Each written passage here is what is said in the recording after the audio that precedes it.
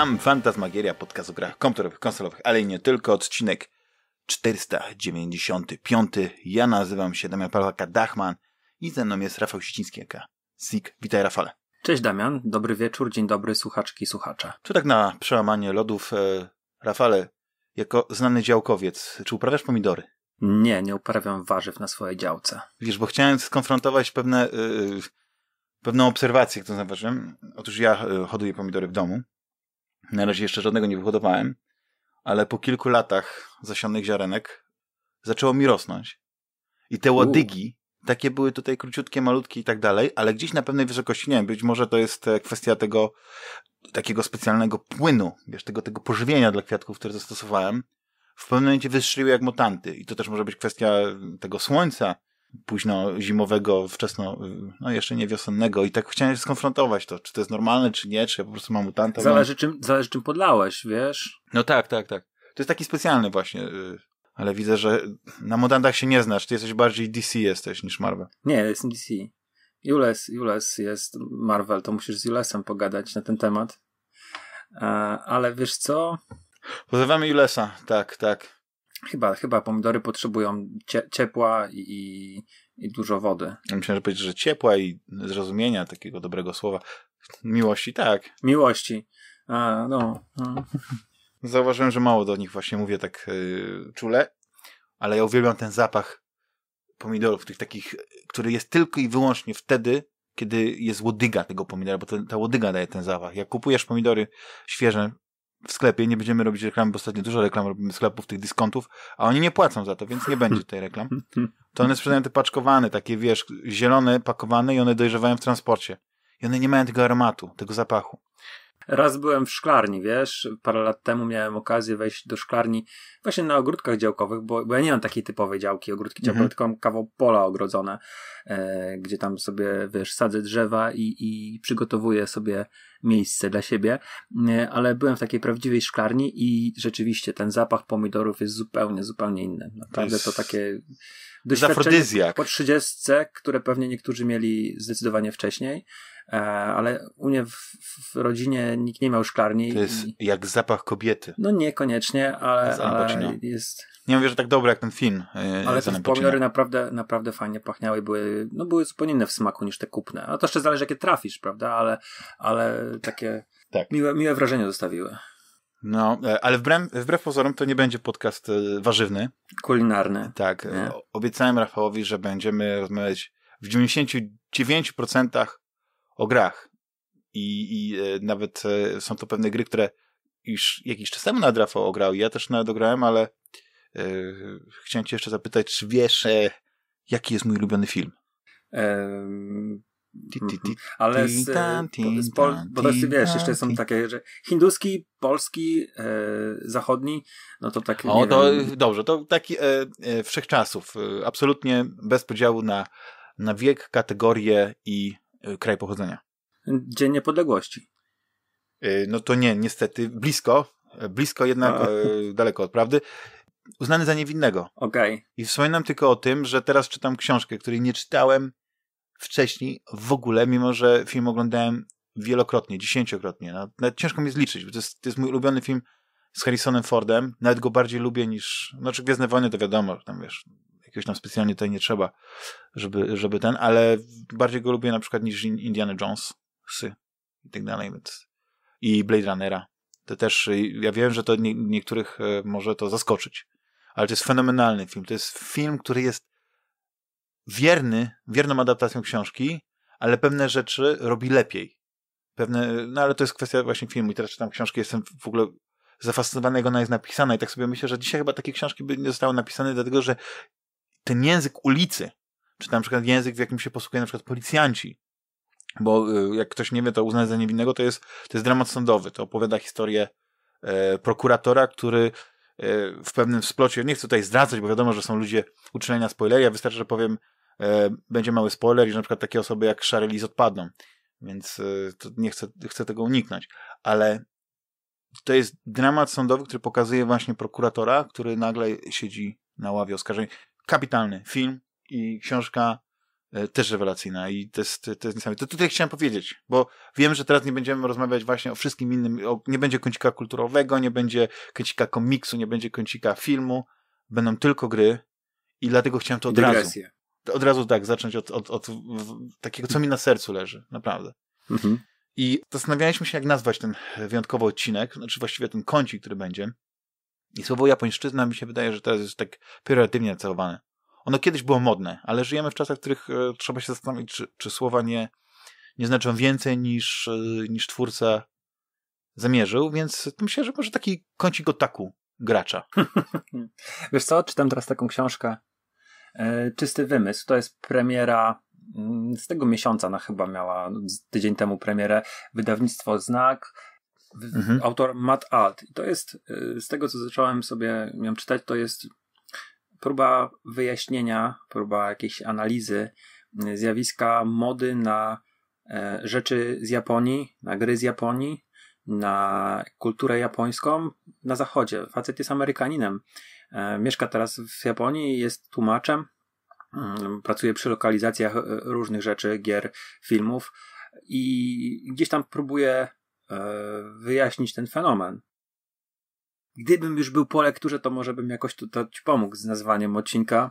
A druga część tej książki to jest e, wytłumaczenie y, Japończykom fenomenu, dlaczego Japończycy tak są zafascynowani w, w tej, tą kulturą zachodnią, amerykańską. A można powiedzieć, że była trzecia część, że Japończycy są mm. zafascynowani kulturą polską, bo polskich akcentów w, tak. w anime, w mandze jest, jest mnóstwo. Nie, żeby można od razu, prawda, y, stworzyć jakiś taki program telewizyjny, który by nadawał 24 godziny na dobę, tylko takie produkcje. E, myślę, że przesadzasz. Ale, ale, ale Chopin jest e, w miarę okay, popularny. jeden. Tak. No pewnie jacyś malarze. Kościuszko. Kościuszko w Japonii, okej, okay, ale wiem, że jacyś... Był takie, takie anime właśnie było, które wydaje mi się yy, nawiązywało do II wojny światowej, ale bardzo Ja myślę, delikatnie. że w anime to nawet był i Stalin, i Hitler, i Mussolini. Także myślę, że... Mm, Czyli chcesz odebrać to, że, że Polacy pojawiają się... Wiesz co, widziałem w jakimś anime, że pili spirytus, e, było na etykiecie spirytus, to widziałem. Żubrówka jest bardzo popularna w Japonii, tak? a nie spirytus. Okay. Tak, nie, serio, trust me. Nie, ja widziałem, że tam ten, ten spirytus był 95% był pity w jakiejś knajpie nalali kieliszek E... to faktycznie mają dobre zdanie o Polakach, że mają końskie zdrowie. Był chyba Mamo Rosiego jakiś film, który dział się w, no, w Polsce. I nie mówię o Avalonie, tylko właśnie jakimś animie o pilotach. Coś tak kojarzę, że tam był właśnie Wrocław. Wiesz co, no, o Avalonie to nawet nie pomyślałem, bo to jednak jest e, tak pięknie zakorzeniony w polskiej kulturze film. Te tramwaje jeżdżące w kółko. No tam też właśnie był, był, był coś takiego. polskie kamienice. Taki, te, kamienice. Brudna ulica. Mm, brudna ulica właśnie wyłożona kostką, jakiś tramwaj, coś tak mi się kojarzy, e, ale nie pomnę tytułu. Mm, wydaje mi się, że był jeszcze gdzieś jakiś polski akcent w takim anime Blue Lagoon, ale no była też jakaś na, na, na dwie generacje wstecz była jakaś gra o Chopinie, ale jest tak szczerze, to, to mm, nie wiem, nie, nie, nie pokusiłbym się o nawet y, próbę zrobienia jakiegoś godzinnego programu e, o polskich akcentach w jakichś zachwytach Japończyków na temat kultury japońskiej. Ja myślę, że tutaj nie jedna osoba, która nas mówi challenge accepted. Okej, okay, nie, bardzo chętnie, wiesz, pewnie, wiesz, są setki kanałów na YouTubie, gdzie są Japończycy w Polsce i Polacy w Japonii, którzy takie rzeczy y, śledzą i, i, zaraz, wiesz, mógłby się pojawić jakiś wpis, który by nam nie sprowadził na ziemię, ale mm, no, nie wydaje mi się, no, jakoś tak. Mhm. Nie, no rozumiem. W takim razie tutaj e, Rafał e, sprowadził nas na ziemię, że Polska jest znana tylko w Polsce. Nie, no ciebie sprowadziłem na ziemię. Tak. Ale, e, no tak. Ale jeszcze wiesz, wracając o, o tego, tej książki Mata Alta, yy, tam nawet nie chodzi o samą kulturę, tylko wiesz o to, jak w latach 70. japońskie, mm, Japończycy do, do lat 70. ukrywali w ogóle jak najbardziej, przynajmniej ten autor tak pisze, yy, że produkt pochodzi od niej, z Japonii. Nawet sama nazwa Sony e, brzmi tak, a nie inaczej, bo nie kojarzyła się z Japonią. Mhm. Ona nie brzmiała japońsko. Mhm. E, no, historia tego, że Lexus nazywa się Lexus dla Amerykanów, bo oni nie chcieli iść Toyotą, mimo że Lexus jest względnie świeżą marką i był plebiscyt i wybrali Lexus, mhm. to, to jest doskonale znane. Ale e, właśnie on, on, opisuje, że w latach 70. E, nagle się pojawiły jakieś tam małe radyjko tranzystorowe, które e, wszyscy bardzo chętnie mieli i to był właśnie produkt japoński i to ta, jestem na tym etapie lat 70., więc cała prawie książka przede mną. Mm, ale to jest właśnie o tym, że jak się też zmieniało postrzeganie y, Japończyków przez Amerykanów. Mm, wydaje mi się, że może być bardzo fajną pozycją. Tak, na pewno to nie jest taka bardzo lekka książka. No, no nie, nie. Szczególnie po wydarzeniach z czasów II wojny światowej. Mhm. I amerykańskiej okupacji. Tak, tak, tak. Jak ktoś chciałby właśnie o tej fascynacji japońską kulturą e, obejrzeć fajny serial, to jest e, drugi sezon Terroru na Amazon Prime. Tam można właśnie sobie obejrzeć. Ale nie wiem, czy, to, e, czy o tym myślałeś. Eternal Sonata. Eternal Sonata. To... Tak, o tej, o, tej, o tej grze mówiłem właśnie, o, tej, o Chopinie, nie? JRPG, tak. Gra toczy się w trzech ostatnich godzinach życia 39-letniego kompozytora, który zmarł na gruźnicę, prawdopodobnie. Chopin przenosi się do krainy baśni. Tam spotyka nieuleczalnie chorą 14-letnią dziewczynkę o imieniu Polka. no, Polka to jest taka pola, nie? Pola i Polka, nie? Mhm. No to jest, y, I to jest gra właśnie Nanko Bandai y, w reżyserii właśnie, czy Hiroya Hatsushiba i sama Rigela. Ale y, a propos Namco Bandai, bo wiedziałem, że będziemy rozmawiać o kilku grach, które przeszedłeś i które cię zafascynowały i, i, i na pewno dojdziemy właśnie do tych visual novel, ale chciałem się zapytać, czy w końcu pograłeś troszeczkę, chociaż w Code Vein, też y, notabene na y, produkcji Namco Bandai. Code Wiesz Vein. co, Code Vein e, mhm. z dwa lata temu odpaliłem demo i przeszedłem demo i nawet byłem... Przeszedłeś kreator postaci. Wszedłem kreator postaci i przyszedłem samouczek i ten pierwszy... To tak jak Black Desert, czy Desert Storm, czy jak to się tak. E, nie wiem, wiesz, to, to, tam podobno są jakieś takie momenty, gdzie, gdzie ta nasza postać zdejmuje machę. E, no, ona praktycznie nie chodzi ale... w tej masce. Ta maska się pojawia, tak? w, no ona jest w kilku momentach, ona wykorzystuje taki, taki e, specjalne uderzenie, gdzie animacja się specjalna, specjalna włącza, to ona jakby ta maska się jej pojawia i ona coś drainuje. Że, powiem ci tak, to jest ciekawe w tej grze, bo to jest gra yy, Soulso podobna. Znaczy, mhm. sama mechanika jest czysto Soulsowa. Mamy w, w miarę otwarty świat, do którego się przenosimy, teleportujemy się poprzez no, e, zapomniałem tej nazwy w grze, ale generalnie to są te ogniska, takie, tego ogniska. Mhm. I mamy haze, czyli odpowiednik na, y, duszy, który zbieramy, który możemy stać jak zgniemy, który musimy podnieść jak, e, jak, jak go upuścimy po śmierci. E, no, generalnie cała taka podstawa jest czysto e, solsowa. Tam są pewne drobne jakieś zmiany.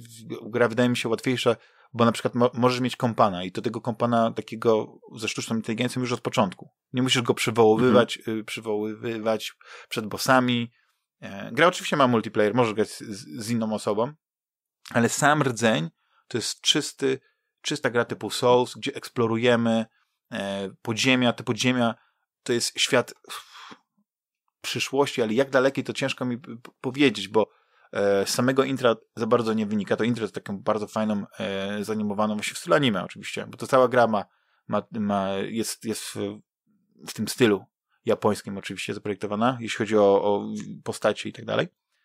Ale to jest świat przyszłości, w którym, wiesz, to jest jakieś takie bardzo zniszczone miasto, które, e, które e, te budynki są opuszczone, zniszczone, wiesz, jakieś są wyrwy ziemi, jakieś, jakieś kratery, jakieś, e, jakieś skarpy, no po prostu jakiś kataklizm się wydarzył, no on jest tam pewnie gdzieś jakoś w różnych tam wstrzępach do znalezienia jakichś notatek historii do odbudowania, ale no generalnie to jest świat postapokaliptyczny, ale on jest tak plastycznie zrobiony, że czasami e, nie dostrzegasz, że, że te pagórki, nie, że, że, że to, to na przykład, nie wiem, są jakieś e, rozwalone części budynku, jakieś betony, czy, czy jesteś w jakimś takim podziemiu, to wygląda jak loch, bo tam praktycznie nic nie widać, a te góry są usypane ze starych opon. No w demo był właśnie były podziemia. Tak, i, gra jest kapitalna, bo jest po prostu Y, na, na, na, na Mindze oni nie, oni dużo dodali od siebie, ale tego rdzenia nie zmienili, czyli też mamy różne bronie, możemy mieć wielkie mecz, miecze, tak jak to w, w grach JRPG, które są 10 razy, 20 razy większe od siebie, yy, możemy mieć różne yy, tam stroje i tak dalej, różne umiejętności, generalnie gra polega na tym, że yy, mamy pewne buildy, tak, czy jakieś takie, ciągle to widzisz, ja mam samą głowę do, do po prostu nie, nie zapisuję, nie rejestruję takich, te, takich, takich rzeczy, ale generalnie możesz zmienić na przykład, czy czy, i to w, w locie właściwie, tak? Czy jesteś mhm. wojownikiem, prawda? I wtedy te twoje umiejętności bazowe się pod to podstawiają. Czy zmieniasz sobie to na przykład na, na rangera, czy na y, miotacza magii, czy na zabójcę i tak dalej, i tak dalej. Na tym etapie odkryłem chyba osiem tych takich Y, możliwości, to y, w ogóle to nie wpływa na przykład na wygląd swojej postaci, więc ona nie, nie zmienia się w jakiś tam stopniu, ale ma mhm.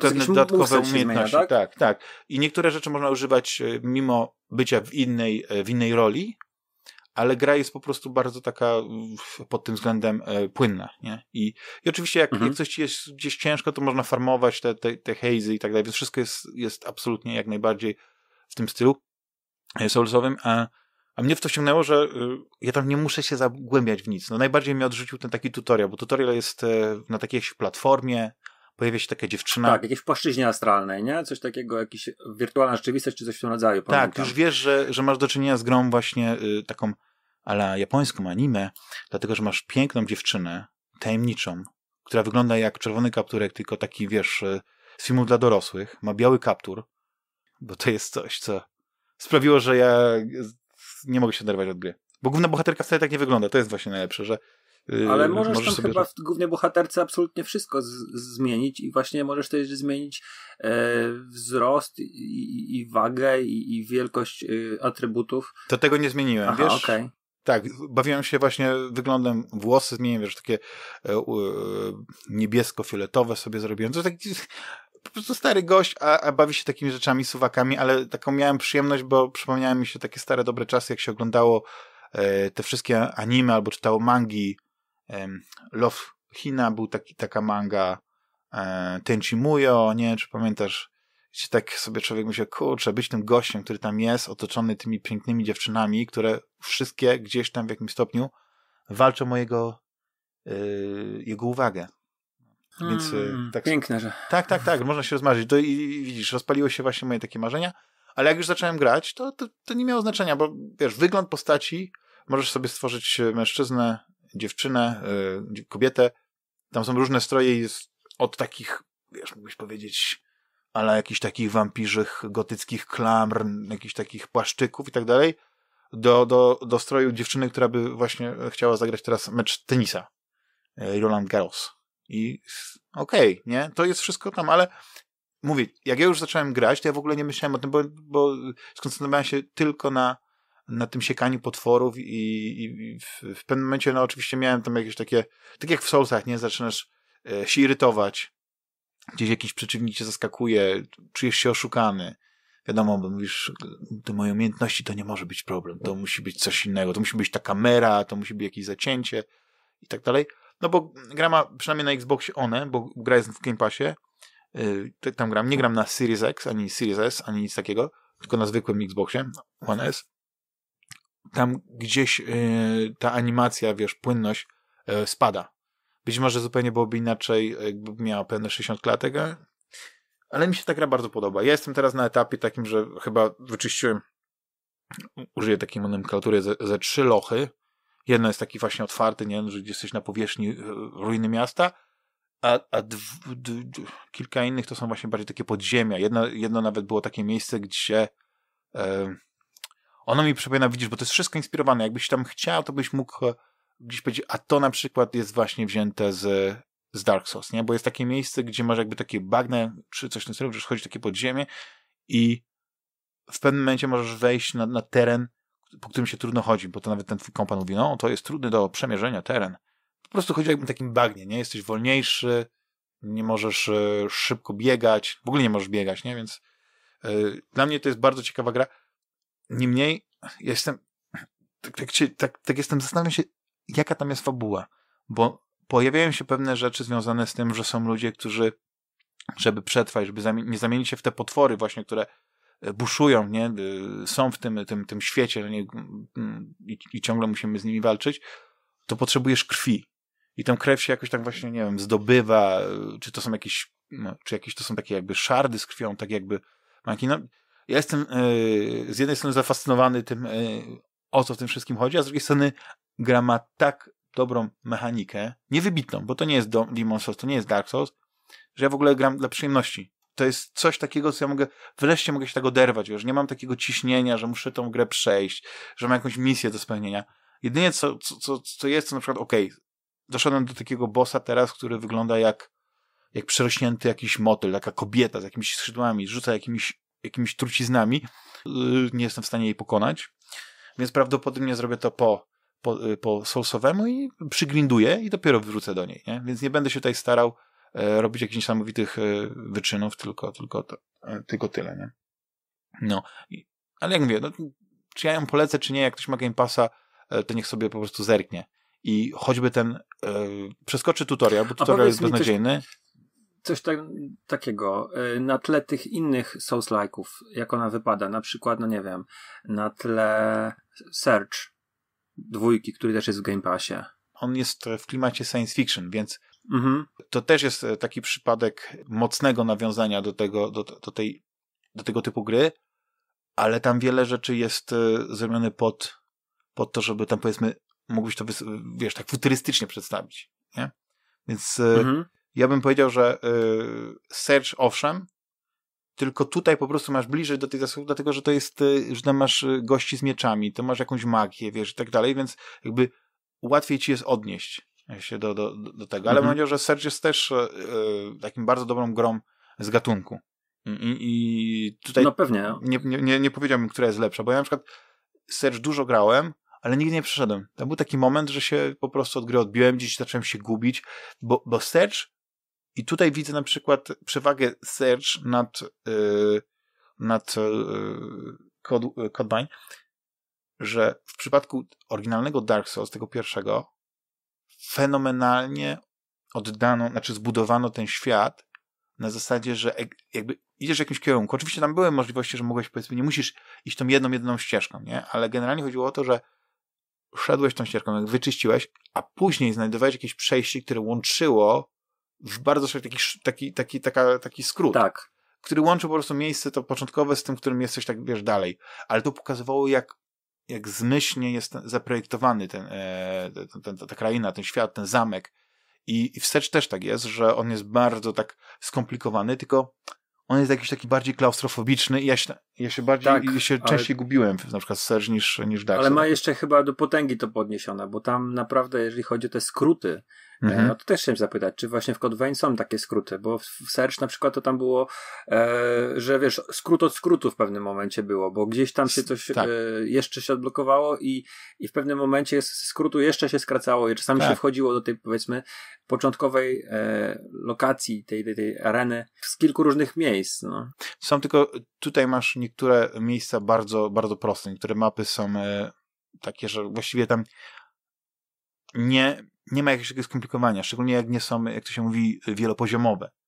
Ale zdarzają się i na przykład widzisz, że jakieś drzwi są zamknięte i na przykład masz komunikat, nie możesz otworzyć drzwi od tej strony, to się domyślasz, że prawdopodobnie na pewnym etapie ty te drzwi będziesz mógł otworzyć i z tego, w cudzysłowie, ogniska szybciej dziejesz do tego momentu, w którym, e, wiesz, no jakby to jest to, że ten, ten progres, no nie, że, że nie musisz po prostu znowu iść tą, tą samą ścieżką, możesz ją skrócić, więc tak są, ale te skróty, ale e, na tym etapie nie mogę powiedzieć, żeby, e, żeby ten świat był tak, tak ciekawie zaprojektowany jak, jak Dark Souls czy, czy nawet The Search, ale, ale, ale jest to. Ten element też jest. Jakby... A tylko miecze są, czy też można postrzelać? I tak. Można postrzelać, bo masz, oni chyba nazywają bajonety. I to są takie, ja bym powiedział właśnie muszkiety bardziej bym to nazwał, nie? Bo, tylko, że to jest taki mm. muszkiet, który strzela taką jakby magiczną kulą E, możesz nim walczyć właśnie jako taką bronią e, e, białą, ale możesz też właśnie zniszczać, tylko ona wykorzystuje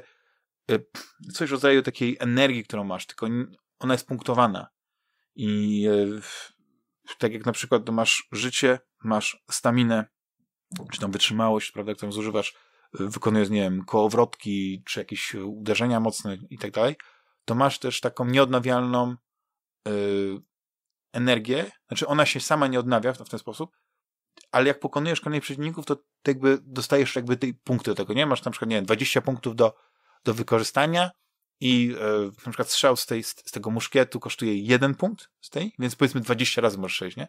Ale e, masz też e, możliwość takiego, wiesz, pocisku magicznego, rzucania, który kosztuje dwa punkty, jest dużo lepszy niż ten strzał, więc jakby te, ten muszkiet na pewnym etapie tak naprawdę jest bezużyteczny, nie? Więc lepiej właśnie wziąć sobie miecz albo jakiś, wiesz, ja, ja mam tak, że mam y, lekki miecz lub coś w rodzaju takiej jakiejś halabardy, y, ale taki, właśnie taki, taki, y, takiego, mm, takiej broni raczej pozwalającej bardzo szybko siekać i mam długi na oko, żeby nie skłamać, 3-3,5 metrowy miecz, którym po prostu jak walniesz, to dwa strzały i koniec, nie? Nie ma gościa takiego przeciwnika. Czasami nawet na, na, na jeden strzał, tylko że po prostu jest wolna ta broń.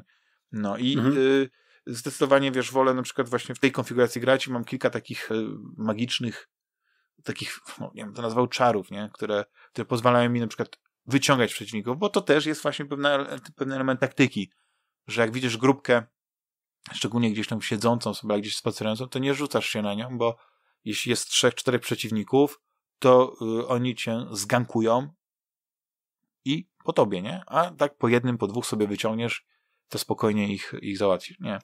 Bardzo sympatyczna gra, że tak powiem, i e, całkowicie zaspokaja, bo to jest, ona wygląda jak japońskie RPG. Ma wszystkie walory japońskiego RPG. Tam e, ten hub, no nie, to, to taka lokalizacja. Aha, jest hub. Mhm. Jest hub, jest hub. On wygląda jak e, no ciężko powiedzieć, ja, ja, teraz jak się tak zastanawiam, to nie wiem, czy to jest jakiś budynek. Bo w demo wyciągali z jakiegoś więzienia w takiej cutscence, ale dobrze kojarzę. Właśnie coś z tą krwią było już to, wiesz, no dwa lata temu. To, to tego tak, nie pamiętam. E, ale może to było na potrzeby dema tylko, nie wiem, bo to była dosłownie jedna mhm. scenka i lądowaliśmy w lokacji, tam nie było jakiegoś, e, z tego co pamiętam, jakiejś historii. I, i takie, było, takie, takie, takie więzienie, tam jakieś postaci były chyba po, po w kuckach i, i to, to, tak to wyglądało mniej więcej. Więc fajnie, że jest hub. A co, co tam, bo tak mówię, przerwałem ci, mówiłeś, czy, co to przypomina? Nie, nie, bo chodzi o to, że tu właśnie jestem ciekawy, ciekawy jestem właśnie tego więzienia, bo tutaj tego nie ma. Tutaj yy, jakby gdzieś budzisz się, znaczy jest to intro takie animowane, ale nie wiem, jak, no, no tak jakby wprowadza cię w ten klimat tego świata, nie? Ono tam opowiada taką króciutką historię. Ty budzisz się, czy jakby od, ocknąłeś się, od, właśnie widzisz tą, tą dziewczynę w bieli, ona cię y, prowadzi, wiesz, jesteś bardzo y, taki osłabiony, później dochodzi do pewnego jakiegoś takiego starcia. No, generalnie jest bardzo enigmatyczne y, to, co się dzieje, ale poznajesz pewne osoby, które okazują się jakąś taką grupę stanowią, która w tym hubie właśnie funkcjonuje.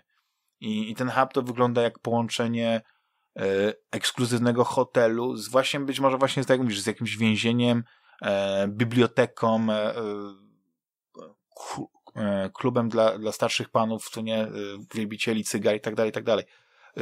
No, tam wszystko jest. Nawet jest Mustang, bo tam są kilka osób jest, z którymi możesz tam właśnie mówić, no część to jest twoich partnerów, tak, z którymi możesz mhm. E, wychodzić na tę misję.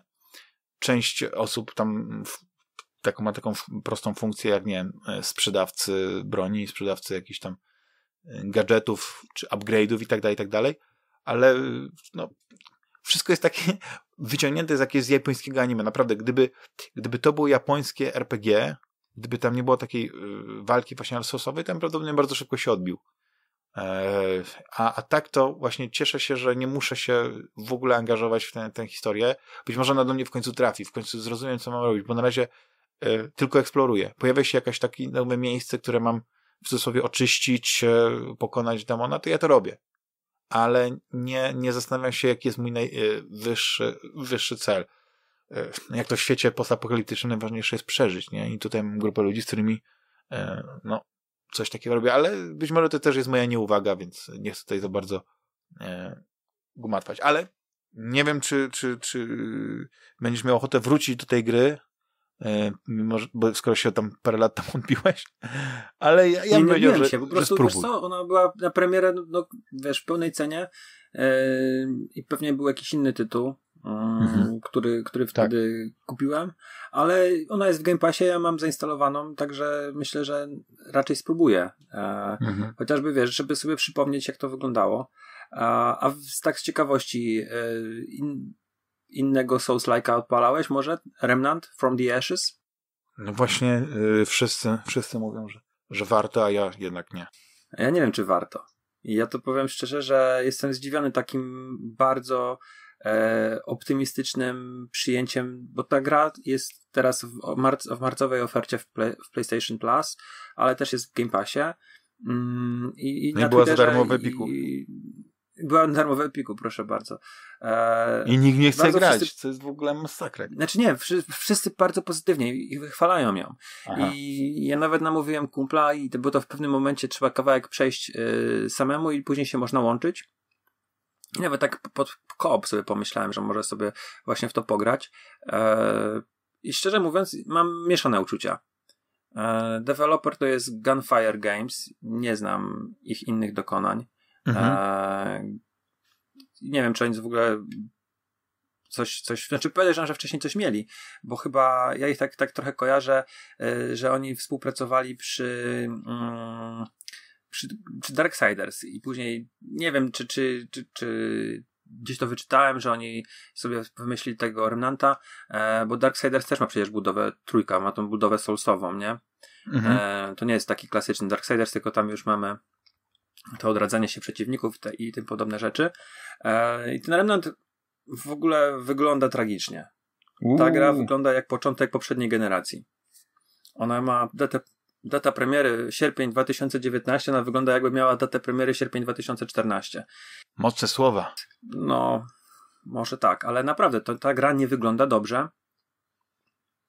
Wszyscy chwalą strzelanie, ono jest ok, bo to są właśnie soulsy, gdzie się strzela, mamy jedną broń, e, taką typu maczeta, miecz, młot, e, a dwie to są taka broń, pistolet przy, przy, przyboczna i druga to jest duży, duży karabin albo snajperka, albo shotgun, bo mamy trzy klasy postaci z tego, co się zorientowałem mm, i każda odpowiednio uzbrojona, bo jest jakiś tam właśnie ekskultysta, to jest taki pośrodku, którym ja gram, e, jest snajper i jest Jam Hunter i jest e, facet, który jest w zbroi ciężkiej, ma wielki młot i właśnie shotguna. Um, Ale też widzę, że, ciekawe, pierwsze... to, że, że ten świat też jest taki post-apo, jak patrzę na zdjęcia teraz, tak. E, jak gdyby tylko wyciąć te postacie, no nie? że tutaj mamy anime postacie, tu mamy postacie takie bardziej na poważnie, w stylu pewnie jakimś Mad Maxowym, e, tylko żeby tych postaci, no nawet można powiedzieć, że w tym samym e, świecie się dzieje akcja. To znaczy tutaj mamy retro, budynki, retro, retro apokalipsę, bo ta, te lata, gdzie to się dzieje, to są jakieś 50., 60., e, może 70. Um, najlepsze jest to, że wszystko, co Rafale mówisz, to mnie kupuje i chyba odpalę I walczymy z, właściwie wiesz co, ja, ja trochę utknąłem, bo początkowa misja to jest taki samouczek, wybieramy pod koniec y, jej swoją klasę mm, i możemy ruszyć, y, zwiedzać powierzchnię, więc przypływamy płyniemy gdzieś łódką, rozbijamy się, lądujemy w jakimś porcie, e, przemierzamy ten port, walczymy z przeciwnikami, którzy są nazwani e, Rut mhm. czyli korzenie. Oni wychodzą właśnie z ziemi, wyglądają tak trochę mm, jak, jak postaci zrobione, jak rzeźby z drewna, no tak w dużym, dużym uproszczeniu. E, mają czerwone oczy i, i mm, trafiamy do jakiegoś schronu, który mm, w którym mamy hub właśnie, musimy tam przywrócić zasilanie, włączyć re reaktor i, i później możemy sobie wychodzić na powierzchnię, ale ja sobie zacząłem w ogóle zwiedzać ten, mm, ten hub, bo on ma jeszcze podziemia i tam po prostu yy, przygniotła mnie ilość yy, lore, ilość tekstów do czytania, bo znajdujemy takie stare komputery, mm, gdzie na każdym są jakieś wiadomości, są jak w Falloutie, yy, też zielona czcionka, migający mhm. ekran i, i przeglądamy sobie te logi i, i albo to, to jest właśnie bardzo mocno. E, jeszcze nie, ciężko mi powiedzieć, jaka jest ta gra, bo mechanicznie nie jest jakaś super, ale może mieć jakąś super rozbudowaną fabułę i bardzo ciekawe rzeczy, bo tam tego jest naprawdę dużo i te lokacje, które sobie zwiedzamy w tych podziemiach, one wyglądają e, bardzo intrygująco. Tam były jakieś badania nad snem, kurcze, jakieś e, nie, powiodło, nie się eksperymenty, mm, coś tam naprawdę jakiegoś dziwnego robili. Tylko pytanie, czy to robili ta, już po tej apokalipsie, czy to, to właśnie to, co oni robili, to spowodowało apokalipsę. Natomiast jak wychodzi się na zewnątrz, to mamy jakieś tam wraki samochodów, jakieś y, zardzewiałe przystanki. Oczywiście większość budynków jest zabite dechami, tylko do niektórych możemy wejść i to są zazwyczaj e, trochę mebli do zniszczenia, bo zbieramy tam junk, złom. E, no i przeciwnicy, co jest ciekawe, to nie są, to nie jest taki soulsowy mhm. układ, że wiesz dokładnie, że tam będzie za każdym razem przeciwnik, bo jeśli nauczysz na pamięć, tylko tutaj mamy losowanych przeciwników i losowane miejsca, w których się pojawiają. Nie wiem na jakiej zasadzie, czy to dopasowuje do naszego levelu, e, czy to dopasowuje po prostu z jakiejś puli potworów, które mogą być na danym etapie, on wylosowuje nam e, po kolei jakieś, bo te, te układy się zmieniają, te potwory wychodzą z, z podziemi, więc możemy być tam w różnych momentach, w różnych miejscach zaskoczeni, co może być fajne, e, ale mm, ja się przyznam, że, że jakoś specjalnie nie doszedłem daleko, bo wchodzimy po tej pierwszej lokacji, która jest prosta, po prostu idziemy, e, jakichś specjalnych wielkich rozwidleń nie ma, Znalazłem jakiś tam jeden mały sekret, rozwaliłem ścianę jedną i drugą i gdzieś tam się dostałem, jakieś parę rzeczy znalazłem to trafiamy do kanałów i to jest moja najbardziej znienawidzona miejscówka, jeżeli chodzi o, o wszelkie gry. Po prostu zejście do kanałów to jest dla mnie e, najgorsze, co może... Czyli się upodlony przez nią, no, tak? No, upodlony, dokładnie. Może to, to, to, to doskonałe słowo. Po prostu to jest naj, naj, największe pójście na łatwiznę dla mnie, nie? że wrzucają cię do, do kanałów i e, jakoś mi się chciało grać, ale też ilość przeciwników, która tam jest, to raczej trochę wymaga, mm, albo wymusza nawet tego koopa, bo, bo, bo nie, nie chciało mi się, wiesz, yy, biegnę ciebie horda i nie chciało mi się yy, cały czas iść tyłem na przykład, nie? I co, co, co załom, co za zakręt, to znowu kilkunastu przeciwników i musiałem do nich strzelać. To strzelanie jest całkiem fajne, ono nie, rzeczywiście nie jest jakieś najgorsze, yy, ale tak naprawdę to ciężko mi powiedzieć, y, bo nażyłem tylko dwie broni. No i do tych broni możemy do, do, do, dołączyć sobie jakąś tam specjalną, mm, nie wiem, powiedzmy, e, ulepszenie, jakiś talizman to się chyba nazywa. I do swojej dużej broni akurat podłączyłem coś, co podpalało moje strzały. Do pistoletu takiego zwykłego rewolweru przyłączyłem sobie e, coś, co pozwala leczyć się. I tak jak wiesz, są, są jakieś tam apteczki, jakieś bandaże zbieramy, bo możemy mieć jakiś status narzucony, wiesz, krwawienie, później można coś zatruć, to możemy otrutkę wziąć. No jest to takie bardzo, bardzo typowe.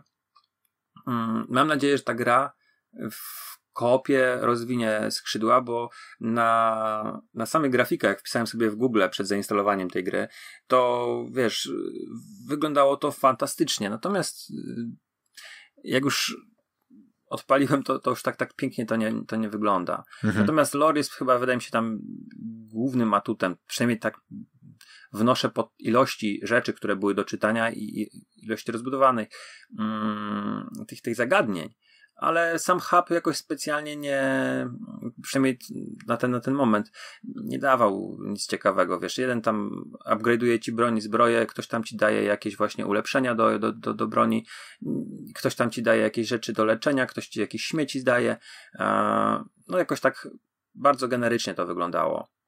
Mam nadzieję, że mówię, że to będzie mhm. lepsze później. No, ale y, czy, czy są jakieś tam akcenty y, japońskie? Polskie? Japońskie. A, japońskie. Polskie też, jak są to. Myślałem, że polskie. nie, nie ma, nie ma niestety ani, ani polskich. Możesz grać e, postacią, która wygląda na Azjatkę albo Azjatę, bo mamy do wyboru właśnie e, Afroamerykanina, Azjatę. Mhm. Nie wiem, czy Afroamerykanie to jest jeszcze politycznie poprawne, tak mówić, ale i, i, i Caucasian, tak, czyli białego możemy sobie wybrać. Mhm. No to bardzo fajnie. I mówię, naprawdę na tych, na tych e, screenach to ta gra wyglądała zdecydowanie lepiej. E, a tak jak mówiłeś o, o, o poziomach w Code no to tutaj niestety e, ta pierwsza lokacja to strasznie liniowa, dwa sekrety, tak jakoś to nieciekawie wygląda. no mam nadzieję, że to się zmieni trochę. Mhm. Mhm.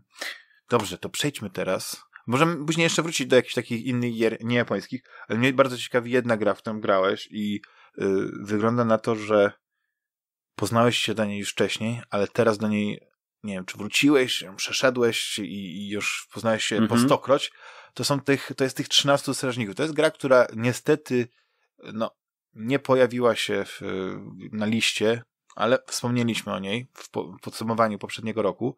Dwie osoby zagłosowały na nią. Tak, tak. Ty i pewnie ktoś z swojego Nie, ja nie głosowałem na nią. Nie głosowałem na nią. To jest, to jest bardzo ciekawe, bo, bo to jest gra, której później e, jeszcze parę razy e, w paru miejscach słyszałem. Ja nawet byłem bliski e, zakupu tej gry, bo mówię, kurczę, ja nie jestem, mnie na przykład nie odrzuca to, że jest anime, tak? Właśnie nawet mi się podoba to. Ale odrzucają mnie inne rzeczy. czyli ten aspekt visual novel, ale z drugiej strony tam są te mechy, tam jakieś takie sytuacje są. Mówię, dobra, no to najpierw sobie zobaczę, jak ta rozgrywka wygląda na, na YouTubie. I obejrzałem, i zaraz zanim się oddam, y, Rafale, y, głos i będziesz prostował, to ja ci powiem, co widziałem. Widziałem bardzo ciekawą e, właśnie grę, ale też wydaje mi się, że bardzo prostą w animacji, gdzieś tam e, to jest jakiś taki świat przyszłości, w którym e, okazuje się, że młode osoby chyba pilotują właśnie jakieś takie mechy, tak? I, i pilotują je nago. Więc te obrazki w tej visual novel zawsze są w jakichś ciekawych pozycjach. I tam jest taka dziewczyna, która jest chyba jedną z głównych bohaterek. I tak sobie, okej, okay, mówię, dobra, no to jest ten aspekt visual ale chciałem zobaczyć, jak wygląda rozgrywka i widziałem tylko po prostu jakąś taką mapę, coś się na tej mapie działo i kurczę, ja się chyba nie doczekam jakiejś takiej ciekawej rzeczy. To nie jest Mech Warrior, to nie jest tego typu gra. To wygląda na właśnie visual novel z jakimiś elementami. I teraz proszę cię, Rafale, powiedz pełny tytuł ładnie, bo ja to oczywiście nie, nie, nie, nie, powiem tego tak, tak, tak ładnie jak ty i sprostuj te moje pierwsze wrażenie. I dlaczego się mylę, bo rozumiem, że ty jesteś w tej grze absolutnie zakochany. Nie, nie mylisz się. To, znaczy, to jest, yy, ja ją bardzo wysoko oceniam. Yy, 13 Sentinels Aegis Rim. Tak? I to masz rację. Ja wtedy w styczniu powiedziałem, że to jest action adventure, ale to nie jest action adventure. To jest visual novel, który jest tak zrobiony, żeby nie wyglądał jak visual novel. On jest upodobniony w tej wersji, znaczy ta, ta gra ma dwa zasadniczo gameplay. Jeden to jest właśnie taki przygodówkowy visual novel, tylko że on akurat e, jest tak zrobiony, żeby jak najbardziej zachęcić ludzi do poznania tej historii. Czyli mamy pełen voice acting japoński i amerykański, angielski, więc mamy wszystkie kwestie czytane, tak? Nie ma, nie ma, nie musimy y, czytać sobie niczego, wszystko usłyszymy. E, mamy nie gadające głowy, gdzieś tam, tak jak w takich najprostszych visual novelkach mamy gdzieś postać i się pojawia dymek i przewijamy, przewijamy ten tekst i to no, ale Tylko tutaj nie jest jakiś wielki skok. Masz chodzimy sobie. Masz gadający korpus. Ale też nie, mamy całe postaci, którymi poruszamy się po planszach. Wszystko jest oczywiście ręcznie rysowane, tła i pierwsze y, tło i to dalsze i postacie są animowane ręcznie w bardzo ładnej kresce, która jest no mocno w stylistyce manga, anime, y, duże oczy i rzeczywiście to się dzieje akcja w Japonii. Małe rączki. To patrzymy sobie na, mm, na te postaci, widzimy archetypy pewne, tak, e, uczniów, z, które znamy właśnie z, z wielu, podejrzewam, tytułów, jeżeli ktoś ogląda anime. I e, to jest, działa jak właśnie przygodówka. Poruszamy się gałką, nasza postać porusza się gałką i może mieć interakcję z niektórymi przedmiotami, z niektórymi e, postaciami. Możemy wchodzić w dialogi, gdzie wybieramy sobie e, różne kwestie, będziemy mogli poruszać. Mm, mamy też takie drzewko myśli, które, które możemy sobie jakiś tam temat e, przywołać i, i posłuchać, co sama postać na ten temat myśli, co te myśli też się zmieniają z biegiem fabuły. I mamy rzeczywiście 12 albo 13 postaci.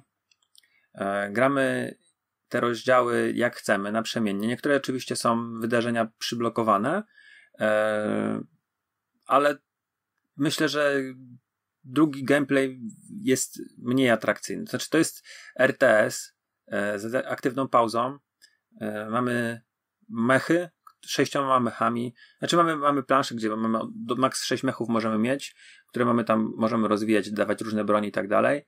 E, ale to bardzo kontekstowa jest grafika. To jak możecie sobie zobaczyć właśnie na jakimś filmie, czy na YouTubie, czy na zdjęciach, które w internecie są, to tam nie mamy tak naprawdę tych mechów, tylko jakieś takie elektroniczne, błyszczące e, hologramy czy coś w tym rodzaju. Mm.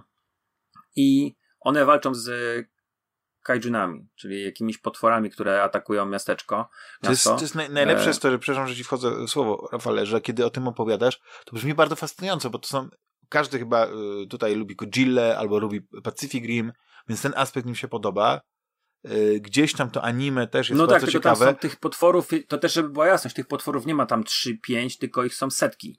A już w tych późniejszych, bo tam mamy tych walk, mamy tych takich y, tutorialowych, czyli Aha. właściwie z prologu mamy chyba 6, później mamy y, 3 razy 10 i później mamy w endgame, już jak skończymy grę, to dostajemy jeszcze bonusowo 10 kolejnych. Mhm.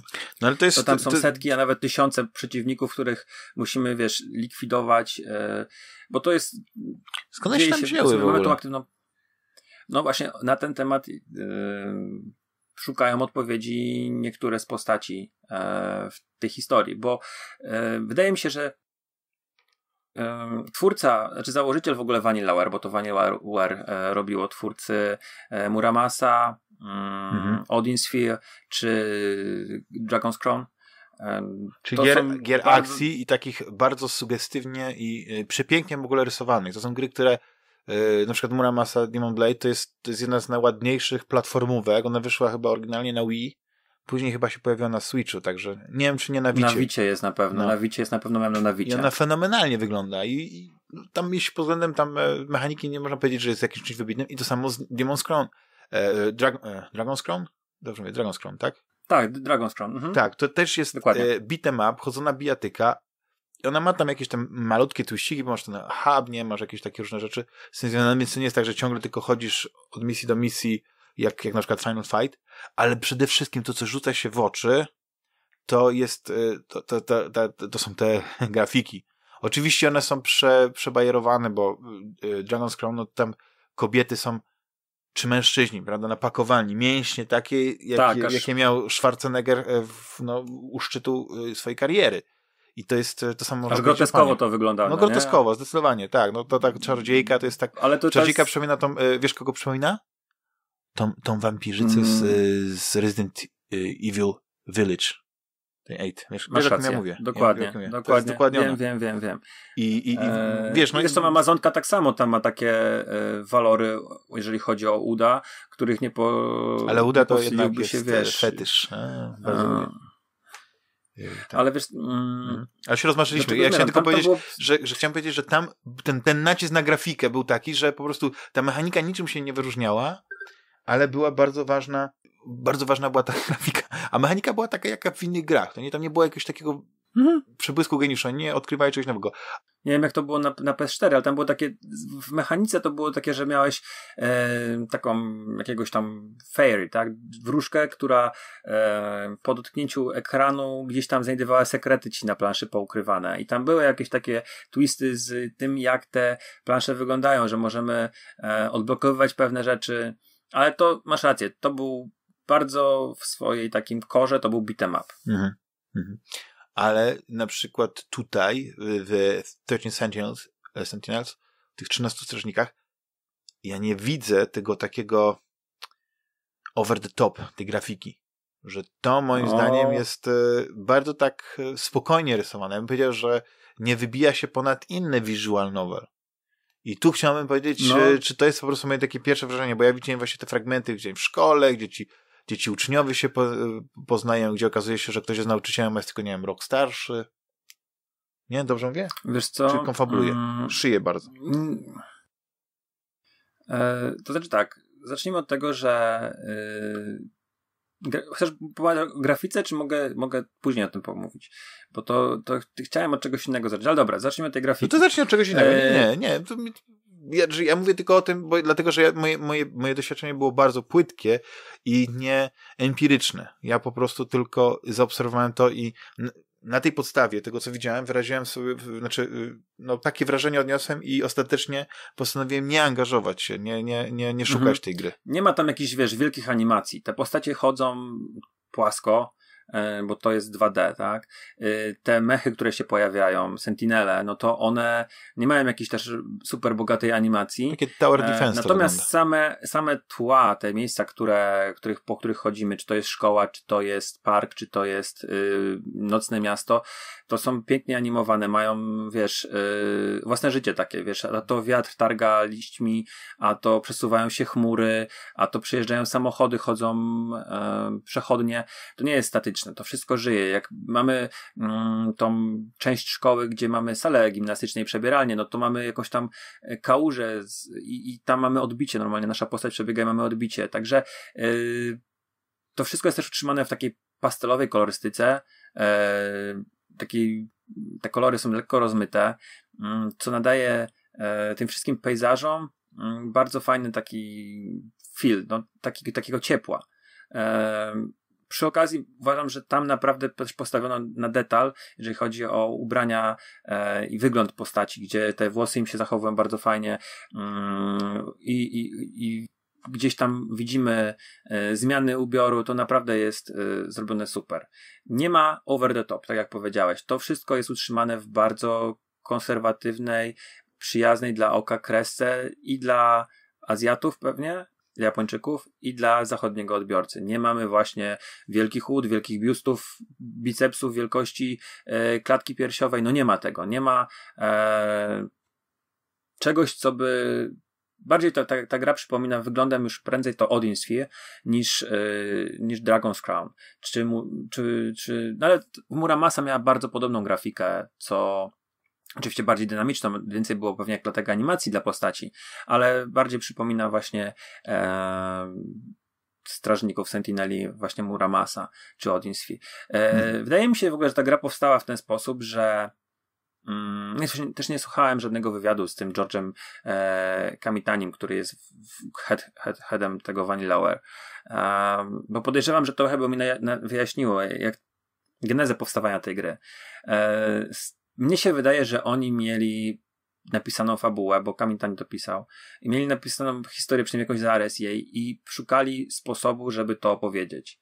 E, bo, bo fabuła jest fantastyczna. Naprawdę jest e, prima sort i wydaje mi się, że to może być jedna z ciekawszych fabuł science fiction, jakie, mm, jakie do, doświadczałem, bo tutaj też mówić ciężko mówić o mhm. czytaniu, prawda? Ale powiedzmy, że no. E, może zdać taki początek właśnie, coś, co, co, w okay, kiedy mamy... był taki moment, że po prostu wiesz, bo rozumiem, czy mówisz, że od razu, tak? E, nie, bo teoretycznie ta akcja dzieje się w 84 5 roku o ile dobrze, dobrze pamiętam. Tak, Wonder Woman nowy film. E, I mamy bohatera, właściwie kilku bohaterów, którzy, których śledzimy wątki. Główny bohater ma jakiś problem, bo śni w ogóle z geekiem, nie? On ogląda filmy o, o atakach potworów, właśnie jakieś Kaju, Godzilla, jakieś właśnie Gundamy i tym podobne rzeczy, ale też bardzo lubi filmy akcji i tak jakby trochę traci kontakt z rzeczywistością, to znaczy śni tak realnie, że wydają mu się, że te sny są w filmach, które, które obejrzał, byłyby jego wspomnieniami i trafia w pewnym momencie na e, ja nie zdradzam jakichś wielkich wątków fabularnych, to wszystko jest w, w prologu, pierwsze kilka minut gry ka każdej postaci. I, i, I, trafia, musi zanieść dokumenty do, do, do pokoju pielęgniarki i trafia tam na, na, na swoje nazwisko i okazuje się, że jego leczą w jakiś tam sposób. On nie wie za bardzo co, o co chodzi, ale też pojawiają się osoby, które w jego życiu, które nazywają go innym imieniem i nazwiskiem. Później pojawia się nam e, dziewczyna, która znajduje w, w szatni w, kobiet, dziewczęcej robota, który przypomina trochę, scena przypomina trochę e, scenę z E.T., jak E.T. wychodzi z kosza na, na, na bieliznę. E, to właśnie tam robot wychodzi z taki właśnie bardzo podobny w wyglądzie, z, z kosza z brudnymi ręcznikami i okazuje się, że on jest z przyszłości. Później mamy um, chłopaka, który budzi się przy ciele martwej kobiety, um, znajduje broń i nie pamięta co się stało, no ale wszystko wskazuje na to, że on kogoś zabił. Znajduje radio i przy tej kobiecie i no to wygląda to, że go szukają, on, on zabił kobietę. A później przenosimy się do y, lat 40. i końcówki II wojny światowej, tuż przed rzuceniem bomby, gdzie mamy chłopaków, którzy y, zostają wybrani do obsługi właśnie pierwszej generacji Sentineli. Y, I nagle te postaci się przenoszą w czasie. Ten robot z dziewczyną a, z szatni przenosi się do lat 40. Mm, z, ona tam trochę wchodzi w historię innej postaci. Tamten chłopak przenosi się do lat 80., bo, bo ta, te, te przenoszenie w czasie, tak jak trochę jak w serialu Dark, mogą być e, określony okres, tak? Czyli o powiedzmy 40 lat się mogą tylko przenieść, nie mogą, bo po 20 nie mogą się cofnąć o ile chcą, tylko właśnie o ten taki e, ustalony rytm.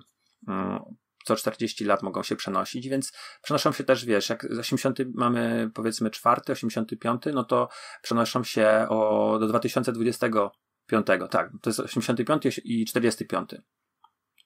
Więc yy, mamy kilka płaszczy czasowych i, i kilku bohaterów, którzy yy, próbują rozwikłać zagadkę, yy, bo na przykład w 25, 2025 Ziemia jeszcze nie jest na początku zaatakowana przez kaiju, ale już w 65 jest i postacie z 65 przenoszą się w czasie do, e, do 85 mm, i tak właśnie to dziwnie następuje, że później mamy w latach 40. XX wieku pojawiają się kaiju, później w 25 roku i tak naprawdę ten 85 to jest jedyny okres, e, gdzie jeszcze te potwory nie zaatakowały, ale dlaczego na przykład y, w 85 chłopak widzi podręcznik do historii i widzi, że e, Amerykanie zrzucili bombę atomową, a w jego rzeczywistości, w jego czasie, w jego rzeczywistości tam się pojawiły potwory, które zniszczyły Japonię. Tego, wiesz, musisz jako postać konkretna e, doszukać się w fabule. I mm, no właśnie, czy to są równoległe światy? Czy oni się przenoszą tylko w czasie? Czy istnieje coś takiego jak pętla, czy istnieją, czy jak się już ścieżki czasu rozwidlą, to, e, to, to można je jakoś, wiesz, połączyć. Tak początkowo ta gra e, bardzo mocno te, powiedzmy, tematy podróży w czasie eksploruje. E, później dochodzą jeszcze zupełnie inne rzeczy. Nanomaszyny, które są tym dzieciakom wszczepiane, żeby mogły pilotować te sentinele. To jak oni zostali wybrani. E, później mamy w ogóle już jakąś głęboką przyszłość i, i rozmowy e, ludzi, którzy są ich starymi wersjami, tam kilkudziesięcioletnimi, którzy rozmawiają na jakieś nagrania ze stacji kosmicznej, która się unosi nad Ziemią.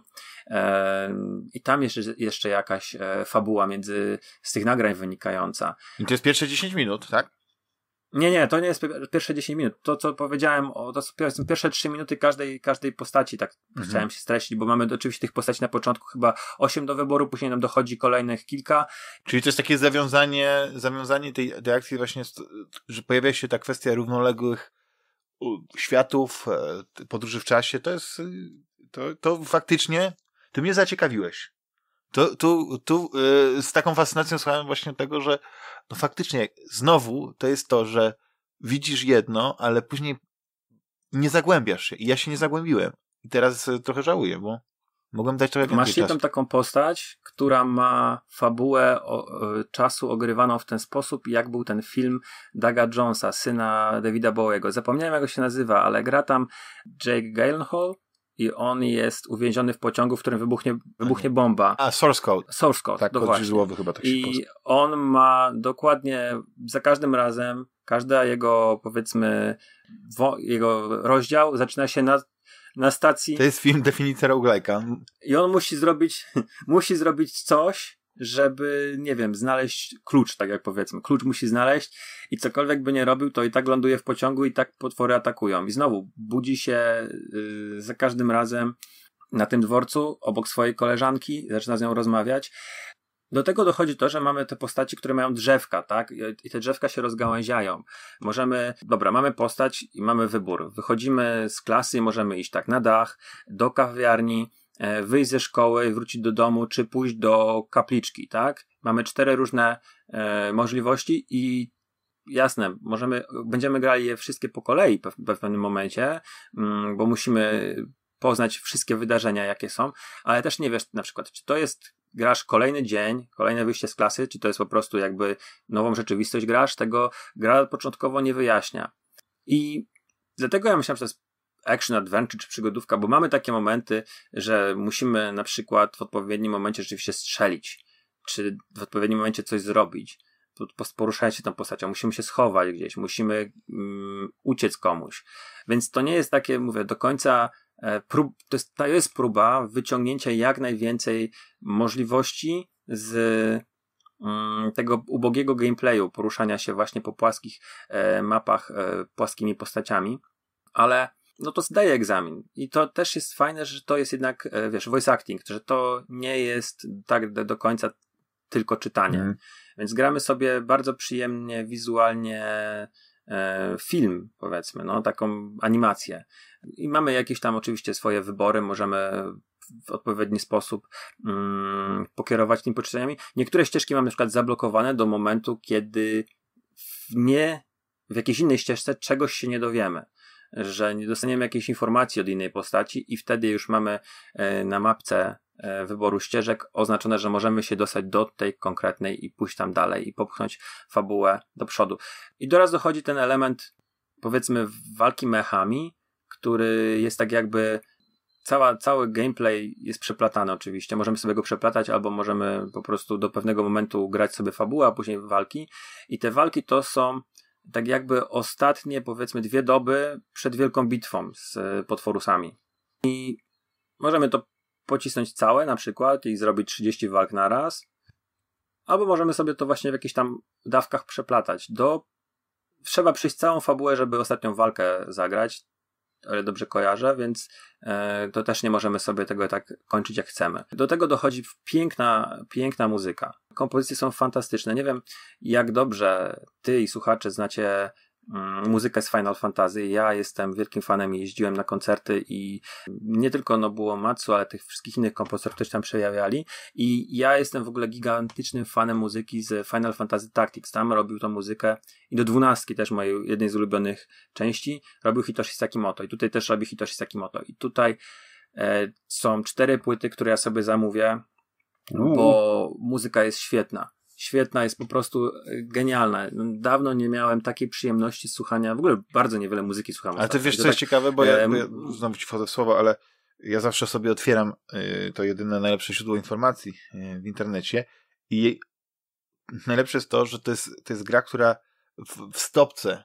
na, na Wikipedii ma aż y, siedmiu kompozytorów wy, wymienionych wśród, wiesz, kto, kto tworzył cokolwiek, nie wiem, tam deweloper, publisher, reżyser, producent i tak dalej, twórca, nie ma tak wiele nazwisk, jak właśnie wśród y, kompozytorów, tak, że jest jeden scenarzysta, no ale to akurat y, nie jest nic niezwykłego, tak, to, ten George, o którym Wiem, ale wiesz, to oczywiście, wiesz, Sakimoto zrobił na, naprawdę tylko, no to podejrzewam, e, jest, jest utworów 80, on pewnie zrobił kilkanaście, e, natomiast on też zrobił ten na pewno główny temat, e, tej gry i on jest, też mi się podoba, ale mm, no wydaje mi się, że, że wszyscy tam i te takie bardziej nowoczesne kompozycje trochę wchodzące w jakiś taki elektroniczny, mocniejszy, mocniejszy brzmienie, dźwięk y, i te takie klasyczne, bardzo ładne ilustracyjne y, utwory, wszystkie są dobre. Naprawdę tam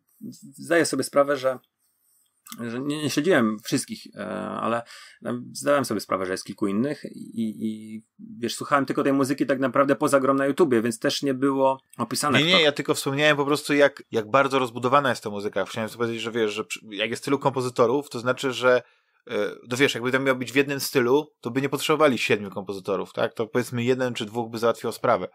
Ale przez to, że jest siedmiu, każdy coś innego wniósł, więc ta ścieżka E, dźwiękowa, o której mówisz, skoro jest na czterech płytach, to znaczy, że jest naprawdę bogata i zróżnicowana i e, widzisz, te, wszystkie te elementy, tak jak z osobna je wymieniasz, to się składają, że no, każdy element jest arcyciekawy.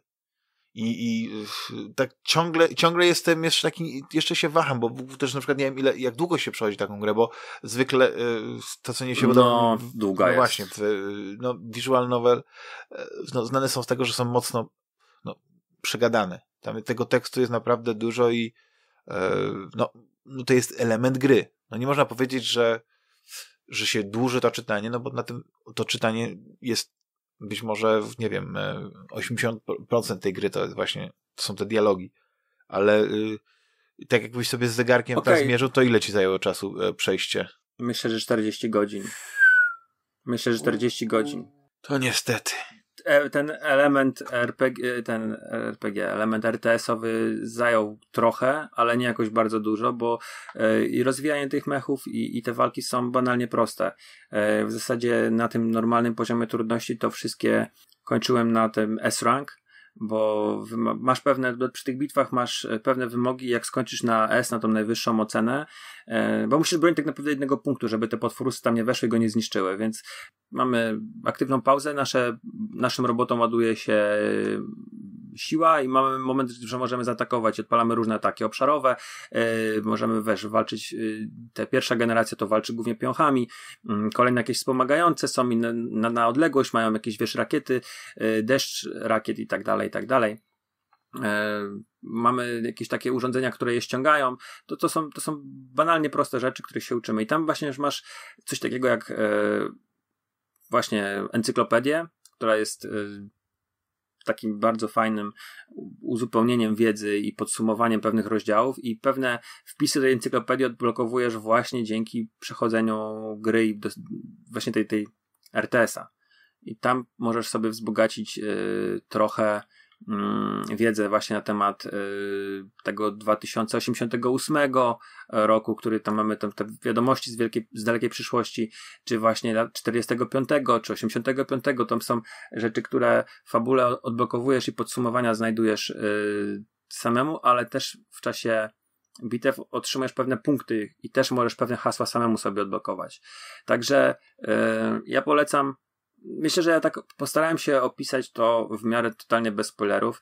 Yy, zajrzałem sobie przed nagraniem na wiki, przeczytałem e, rozdział plot na, mm, na Wikipedii i raczej bym nie czytał go, jeżeli bo sobie zepsujecie naprawdę e, wszystko. Tam jest dosłownie każdy praktycznie twist opisany.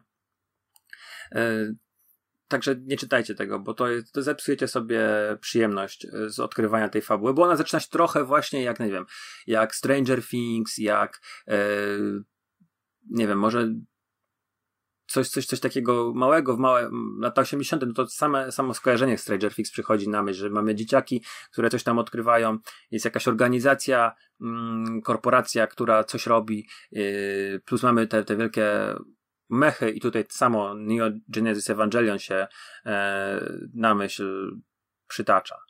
Ale są tam różne fajne twisty, różne fajne zagrania. E, oczywiście ta gra ma wady, nie? I to jest jej długość, ta, ten RTS, który jest męczący. Mm, poza tym, wiesz, tam się potem będzie pojawiają tysiące tych jednostek i, e, i chrupało, nie? Dobrze, tam jest aktywna pauza i, i... Nawet na PS4. Nawet na PS4. Nie wyobrażam sobie, bo ta gra początkowa miała też wyjść na Vita, to nie sądzę, żeby to, to, to dało radę. Ale na Switchu będzie płynniutko, zobaczysz, 60 klatek To nie na będzie na Switchu, nie sądzę. Wiesz to, to jest taka gra, że jak, jak ty mi teraz powiedziałeś, że ona chrupie na PS4, to ja się zapałem za głowę. Jak to jest możliwe? Przecież ta gra nie wygląda jakby ta, ta gra wygląda jakby mogła wyjść spokojnie, spokojnie na 360 i na, na PS3. Tak, tak i tak wiem, na, na PS2 mogłaby wejść ta, ta fabularna część, to mogłaby być na PS2 nawet. I by się, wiesz, nie było... No, no jak wygląda to jak Persona, nie wiem, 3 czy tam 4. No nie, no jest ładniejsza, ta rysowana grafika jest naprawdę piękna i to, to jest wysokiej rozdzielczości, to nie jest... Ładniejsza od Persony? O nie. Natomiast... Szumrawcze te, Jak możesz. Te, te walki, powiedzmy, taktyczne, ten RTS, no niekoniecznie. Wiesz, że tu bym liczył, że właśnie będzie najlepsza y, zabawa, że. Nie, to jest y, banał. Że gdzieś tam zawsze ten. ten Tylko no. są pewne rzeczy, które. Czyli zabrakło kogoś, to by fajną, fajną rozgrywkę w to wplot, taką strategiczną, taktyczną. To nie jest taktyczne. Znaczy, to może w jakimś tam stopniu tak. Mogli zwolnić jednego kompozytora, a zatrudnić jakiegoś dobrego właśnie. Ale są, są jeszcze ostrzec, bo to fajnie brzmi, bo mamy tam naprawdę i e, dużo do takich ukłonów do, do, do klasyków science fiction i e, właśnie bardzo ciekawe pomysł, nie chcę, wiesz, szukam słów, żeby nie zdradzić czegoś, ale y, pomysły, które się pojawiają tam na przestrzeni kolejnych y, godzin, czyli jakieś tam androidy, y, jakaś sztuczna inteligencja, mm, korporacja, która coś tam stworzyła, e, dlaczego właściwie y, te, te potwory się pojawiają i atakują, to jest e, mhm. oczywiście bardzo fajne, ale są takie momenty, gdzie na przykład mamy e, dziewczynę, która widzi kota i ten kot do niej mówi.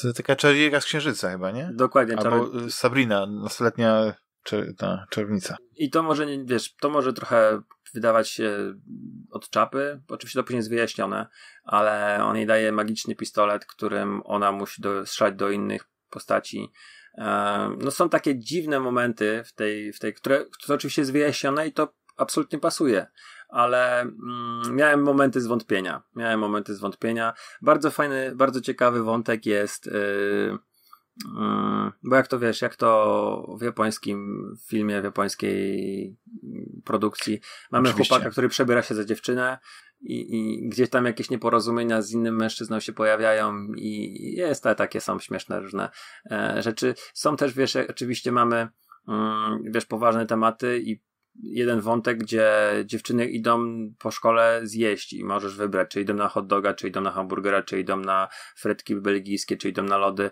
i, i musisz mhm. iść na te lody i czytać ich wymiany zdań. E, co jest, wiesz, no z perspektywy skończenia, jak skończyłem grę, to, to niekoniecznie to było potrzebne, e, bo to wydawałoby się zapychaczem. Z drugiej strony, no to miało wprowadzić do beztroskiej, e, beztroskich lat 80., gdzie nastolatki wychodzą po szkole i idą sobie właśnie na jedzenie i mogą pogadać te dziewczyny o pierdołach. E, ale mhm. sama gra jest jak najbardziej dla ludzi, którzy lubią visual novel i lubią Mm, science fiction jest, jest godna polecenia. Mnie się wydaje, że to jest jedna z najlepszych fabuł historii science fiction, jakie przyswajałem ostatnio. A wiesz co, mnie jedno ciekawi, e, Rafale. Skąd u ciebie się wzięła miłość do visual novel? Pamiętasz swoją pierwszą visual novel? Tak. I y, pamiętasz, która kolejna visual novel? Y... Danganronpa to była, która mi się strasznie nie podobała.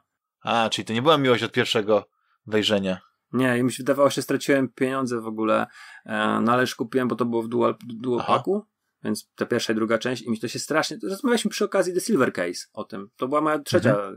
visual novel, jaką zagrałem i byłem zakochany w niej. I pierwsza była totalną porażką. Ja do tej pory uważam, że ta miłość ludzi do Danganronpy, ślepa miłość i uwielbienie, to nie wiem skąd się bierze, bo ta seria, przynajmniej po dwóch pierwszych częściach była dla mnie e, no, drogą przez mękę i totalnym takim, wiesz, pełną absurdalnych rzeczy. I tak cię podziwiam, że jednak e, brnąłeś, bo ja jak na przykład, bo ja próbowałem kilka visual po prostu y, ja cenię sobie na przykład w książce, tak jak wspomniane na początku, książka y, Uznany za niewinnego. I tak samo jak na przykład, nie wiem, Ojciec Chrzestny Mario Puzo. To są książki, które ja mogę wiedzieć dokładnie, jakby znać fabułę, bo w obu przypadkach, jak czytałem te książki, to już, już byłem po, po seansie, no nie, czy tu Ojca Chrzestnego, czy ten, ale to, ale to było tak napisane, że ja każde zdanie czytałem i ja taką miałem niesamowitą przyjemność, że obcowałem z, z literaturą wyższą, albo przynajmniej z czymś świetnie napisanym, czymś, gdzie, gdzie żaden dialog, żadna linijka nie była zbędna. Yy, no, no gdzieś, gdzieś yy, tego mi brakuje właśnie w visual novel, że visual novel Y, nie wiem, najważniejsze jest y, przeważnie, to co ja widziałem, to, to mieć jakieś takie ładnie wyglądające postacie, być może właśnie większy visual gdzieś tam jest ten romans, no nie, więc to jest taki, jakiś taka rodzaj randkowania, wiesz o co mi chodzi? Że, że to jest coś mm. takiego, tak mi się to zawsze pojawiało, że te visual novel to były takie historyjki romantyczne, yy, które tak naprawdę no, były nie, ni to ni komiks, ni to książka, wiesz, coś w tym stylu. Strasznie przegadane. Z, y, ciężko się to czyta, bo wiesz, linijka tekstu, trzeba poczekać, przewinąć i tak dalej. No tu masz voice acting, tutaj masz trochę inaczej. Nie, nie, nie, nie zarzucam cię takim ilością, no, no nie, mam to nagrane. Nie. Ale wiesz, to się, to się bardziej ogląda, znaczy to się tak bardziej mm, grało mi, jakbym grał w serial anime, niż bardziej niż, niż czytał książkę, bo jednak mówię, no pełen voice acting i e, zmieniałem sobie głosy, bardzo dobra jest e, i japońska e, ścieżka i angielska, także jak miałem możliwość czytania, bo na przykład wiesz, e, siedziałem bliżej ekranu, no to sobie puszczałem japońską, bo to w biegu przechodzisz. E, a jak e, sobie gdzieś tam leżałem, to nie chciało mi się czytać, to sobie puszczałem angielską. I jedne i drugie głosy mhm. są spoko. Wiesz, bo ja na przykład, jeśli chodzi o moją przygodę z visual novel, to jedyna taka gra, którą wydaje mi się, że jest visual novel, ale miała też dodatkową e, mechanikę, tam były zagadki środowiskowe, jakieś łamigłówki, to była gra Nine Hours, Nine Persons, Nine Doors, 999. Nie wiem, czy grałeś na, yy, w tę grę na DS-ie. Bo będziemy zaraz rozmawiać o, chyba wydaje mi się, że to jest kontynuacja, ale... Tak. Tak, ale nie wiem, czy grałeś na... na... Wiesz co, przyznam ci się, że grałem, ale ja grałem w nią lata temu na wakacjach, na wyjeździe i ja nie wiedziałem, że to jest visual novel, tylko ja myślałem, że to są e, zagadki, wiesz, ucie ucieknij z pokoju, Room Escape z z jakimiś tam bzdurami tak, po, po drodze, nie? I ja to przewijałem, ja to mhm. przewijałem jak nienormalne i czekałem tylko, żeby, wiesz, żeby e, wejść do tak. kolejnego pokoju zagadki. Także ja nie znam fabuły. A to jest gra, w którą się przechodzi kilkukrotnie tak. i dopiero, właśnie nie wiem, może już przeszedłeś tę grę y, za pierwszym razem, bo o ile pamiętam, to y, jakby ta opcja przewijania tekstu, ona się pojawiła dopiero później, że, mhm. że jakoś tak trzeba było, y, jakby mogłeś przewinąć teksty, które już, kiedy, już widziałeś przy tak. pierwszym przejściu, bo to kolejne jakby coś ci tam odsłaniało. Tylko, że ja nigdy nie przeszedłem tej gry ileś tam razy, kiedy było potrzebne. Ja prawdopodobnie przeszedłem ją raz i trochę. Demian, żeby była jasność. Ja tak mówię, przewijałem, że wiesz, klikałem, żeby to po prostu poszło, bo tam chyba było tak, że mogłeś, ten tekst się pojawił, wiesz, i jak chyba wcisnąłeś guzik, to on się po prostu cały wyświetlał i mogłeś puścić dalej, tak. w sensie nie, że tak przyspieszyć go. E, I wiesz, grałem sobie w tę grę i tam siedziałem sobie ze znajomymi, oni tam grali w jakąś planszówkę, jak gdzieś tam z boku z DS-em i, i uczestniczyłem też w jakiejś rozmowie, więc żeby była jasność, ja w ten sposób grałem w tę mhm. grę, to nie, nie nie miałem tej możliwości, tak, o której mówisz, o tym przewijaniu tekstów, które mhm. już widzieliśmy. Dlaczego wspominam o tej grze? Dlatego, że to jest część trylogii. E, ona się chyba nazywa Zero Escape. Mhm. I ty grałeś teraz Virtuous Last Reward, tak? Tak. Bo jest jeszcze jedna część. I trzecią część też. A, trzecią, właśnie. Zero Time Dilemma też. O, Obie skończyłem. To mnie bardzo właśnie fascynuje, bo ja nie mam, jak chyba próbowałem Virtual Last Reward, ale nawet nie byłem w stanie określić, czy ta gra jest jakąś kontynuacją, czy po prostu się dzieje w tym samym uniwersum, jaki ma związek z, z poprzednią grą, ale rozumiem, że skoro nie pamiętałeś specjalnie tej, tej 999, a i tak zagrałeś i przeszedłeś i, i chyba się bawiłeś dobrze, to, to chyba to nie jest niezbędne, nie? Czy, czy musiałeś nadrabiać, na przykład czytać Wikipedię, e, Plot. Nie, wiesz co, wydaje mi się, że w Virtual Last Reward y, plot jest streszczony. Mhm. Y, wcześniejszej części, bo jedną z moim zdaniem grzechów tej gry jest po prostu natłok, natłok tekstu i natłok e, informacji i natłok e, wszelkiego rodzaju takiej ekspozycji.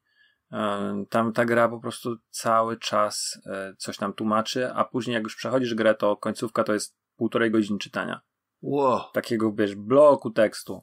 Czy to jest taka gra też, tak, tak jak było właśnie w tej pierwszej części, że okej, okay, no jest dużo czytania, jest to visual novel i tam pewna, nie wiem, czy w ogóle w taki visual novel podejmujesz jakieś decyzje, czy po prostu tak naprawdę to nie ma znaczenia, tylko naciskasz A, kontynuuj. Yy, czy, czy, czy, czy to jest jakiś element ważny? Znaczy w sensie, mhm. czy to jest część w ekspozycji i jakiej niekończącej się ekspozycji, czy to faktycznie ma znaczenie, jak rozmawiasz, z kim rozmawiasz? i co jest tak naprawdę główną mechaniką tej gry? Czy tam są też właśnie te takie escape room, jakieś zagadki do rozwiązania, czy, czy nie? Gameplay dzieli się na, tak jak powiedziałeś, na dwie, e, powiedzmy, dwa rodzaje. Escape roomy e, i tutaj z, chciałem od razu pochwalić, że wiesz, że to są fajne zagadki. One są w 3D, no bo ta gra wyszła oryginalnie na 3DS-a, więc e, zrobili je w 3D i, i mimo, że one są brzydkie, to są ciekawe, bardzo pomysłowe, bardzo logiczne, e, wykorzystujące nie tylko, wiesz, jakieś e, jakieś, jakieś bzdury y, ukryte na, na tego, na, na planszy, tylko jakieś tam wiedzę taką mądrość życiową. E, fajnie pomyślane tutaj muszę pochwalić. I sekcję e, visual novel, czyli czytamy, czytamy, czytamy i są wybory. I mhm. tak y, każdy nasz wybór y, będzie mm, rozgałęział drzewko, Czyli w zależności na przykład z kim pójdziemy do pierwszego escape roomu, to uruchamiamy jedną z trzech gałęzi. Ostatecznie tych, e, tych, tych drzewek, to, tych, tych ostatnich możliwości jest kilkanaście. Po drodze możemy umrzeć. E, a to za sprawą tego, że mamy, o ile dobrze kojarzę, jest tak, że mamy dziewięć osób, z czego są podzielone na e, te osoby na trzy pary i trzy osoby solo do pokoju wchodzimy e, oso- z osobą, którą jesteśmy w parze, plus jedną osobą solo, a później wracamy i głosujemy, czy zdradzamy, czy jesteśmy z tą osobą, i w zależności i ile, czy, czy zdradzimy, czy, czy stwierdzimy, że nie zdradzamy, e, dostajemy punkty. E, jeżeli o, i osoba solo i para stwierdzą, że się nie zdradzamy, dostajemy po dwa punkty dostają. Jeżeli para na przykład zdradzi osobę solo albo solo zdradzi parę, to ten zdradzający stanie 3, a tamta para dostanie minus 2. albo jak jedno i drudzy zdradzą, no to dostają zero. I generalnie e, ich, ich problemem jest taki, że oni są zamknięci w jakimś bunkrze, gigantycznym kompleksie, e, pełen różnych dziwnych pomieszczeń. Mają takie. Porwani przez tą enigmatyczną postać tego zero, tak? Mm, tutaj tak, jest, tak, tak, tak. Tutaj jest zero. Zero dwa chyba się nazywa. Eee... To trochę mi przypomina tylko z innej beczki, no nie? Pamiętasz So i tamtego pana piłę. Tak, i, i wiesz Też co, tak i ten, ten, Zero Time Dilemma jest bardzo mocno, ta trzecia część jest bardzo mocno e, f, f, za, zafascynowany, przynajmniej mhm. ten twórca był piłą, widać. Tutaj nie, tutaj mamy hard science fiction mhm. e, też fabułę, która na początkowo tak się nie, nie wydaje, ale e, generalnie muszą mieć 9 punktów, żeby wyjść. Mają taką bransoletę na ręku, która ma truciznę. Jeżeli będą e, spadnie im poniżej zera, znaczy po, to, to wstrzykiwana jest im trucizna. Jeżeli e, mają 9, mogą wyjść przez drzwi i wyjść na powierzchnię. I mm, to, to super zakończenie, które jest ostatecznym, które jest takim prawdziwym i to jest właśnie moment, kiedy e, uda nam się wyprowadzić wszystkie, wszystkich, całą dziewiątkę. Mhm. Oczywiście e, szybko się okazuje, że tak naprawdę te nasze wybory to nie jest do końca. Znaczy, postać też zauważa to. To nie jest tak, mhm. że my, my po prostu gramy sobie grę i możemy wybrać tam, tylko to jest to, że się cofamy do różnych naszych wyborów, później do wyborów na drzewku i możemy przewijać pewne rzeczy. To jest kwestia tego, że ta nasza postać ma taką umiejętność. Potrafi e, przesyłać no nie wiem, czy, czy, czy swoją jaźń, czy w jakiś tam sposób wracać do pewnych wydarzeń. Um, no i ta, ta fabuła jest, jest super, naprawdę, tylko że ta gra ma wiele problemów, ale fabuła jest ekstra. Więc najfajniejsze, że jednym z głównych motywów jest wirus, który wybuchł na Ziemi tuż po ich porwaniu. Oh. I, i, I ten, według tych informacji, które oni tam znajdują w tym kompleksie, to tam e, ma, ma bardzo wysoką śmiertelność i, i, i to jest jeden z głównych e, wątków tej, tego e, te, te, te, tego Zero Escape, mhm. E, Virtuosity World. I to jest zabawne, dlatego że no, jesteśmy teraz w, świecie, który, w którym jest pandemia, ale gra jest potwornie brzydka. Jest obrzydliwa. Jest jedna z najbardziej brzydkich gier, jakie grałem. Zastanawiam się, czy to nie ma właśnie na znaczeniu to, że ona jest przeskalowana z, z tego 3DS-a. No oczywiście poprawiono taki, taki remaster, zrobili jakiś facelift. Ja grałem na Wicie, wiesz, bo Aha też, żeby słuchaczom dać y, obraz, ja w momencie miałem tak, że dostałem na, na, jakiś dłuższy okres ograniczony do Wity. Po prostu chciałem coś, coś, coś tak. takiego, co mógłbym sobie wieczorami pograć, niekoniecznie niekoniecznie a, szukałem czegoś wielce angażującego mechanicznie, znaczy wielce angażującymi mechanikami, znaczy czegoś prostego szukałem. I tak padło na to Virtual World, które gdzieś tam sobie y, dostałem w plusie lat temu. Mhm. Nie żałuję. Tylko też jest gra. To jest gra na 30 godzin, gdzie są ściany tekstu, bardzo fajne pokoje zagadek. No i tam są tak samo jak w, w, tylko są inne tematy niż w 13 strażnikach. Tutaj mamy y, też tematykę właśnie y, różnych y, rzeczywistości, tak? Teoria, nie wiem, strun, dobrze mówię? Mhm. I że mamy właśnie jeden nasz, powiedzmy, jedna nasza decyzja Mm, wpływa na, znaczy rozdzielenie jakieś tam mamy, to, to, to te dwie ścieżki już zupełnie inaczej idą. Nie, naprawdę widać, że ten twórca, bo to całą trylogię projektował i reżyserował jeden gościu. Nie pamiętam teraz, jak się ten facet nazywa. Przepraszam. Ja tutaj zaraz, zaraz powiem. Dyrektor Kotaro tak. Uchikoshi. Okej. Okay. I on też napisał na pewno scenariusz do tych wszystkich gier. E, widać, że był zafascynowany e, jakimiś książkami, e, kiedy to pisał, jakimiś dziełami kultury, bo tak jak właśnie Virtual Last Reward jest ma swój mocny taki styl pisania i porusza pewne tematy, to już na Zero Time Dilemma, które jest kolejne mhm i które jest po pierwsze o wiele ładniejsze, po drugie ma pełen voice acting, czyli już nie mamy tych bloków tekstu i nie mamy mm, tego przemęczenia. Ta gra jest też na kilkanaście godzin, nie na, na 30. A czy można w nią grać e, niezależnie od poprzedniej kończy. części, bo ona się dzieje jakoś tak chronologicznie pomiędzy 999 a, a Virtual Last reward. Nie? Ale wydaje mi się, że musisz zagrać ją ostatnią. Jednak, bo ci za dużo zdradzi. Aha, no właśnie. Tak, znaczy to, to masz po pierwsze masz e, w Virtual Last Reward masz postaci z części pierwszej, E, natomiast w Zero Time Dilemma masz postacie z części pierwszej i z części drugiej. I mm, w, problem jest taki, że w Zero Time Dilemma mówią ci już pewne rozwiązania, których, do których dochodziłeś w Virtual Last Reward, które były jakimś tam revealem. Tutaj masz wszystko na tacy podane, więc jak y, zaczynasz grać w Virtual Last Reward, to ty już to wiesz. Jakbyś grał w odwrotnej kolejności. Mhm. I to nie byłoby zaskoczenia, no po prostu nie widziałbym sensu, wiesz, y, poznawania tej historii od drugiej strony. I w Zero Time Dilemma są Mm, bo identyczny schemat. Eee... Bo ja się zastanawiam, czy na przykład jakbym miał zagrać tylko w jedną, jedyną grę z tej serii, to czy bym po prostu nie wybrać dilemy? No myślę, że wizualnie może wyglądać najlepiej, natomiast chyba z tego, co yy, dowiadywałem się, to Nine Hours, Nine Person, Nine Doors jest najlepsza i chyba yy, w tę grę powinieneś zagrać, jeżeli ma być jedyna.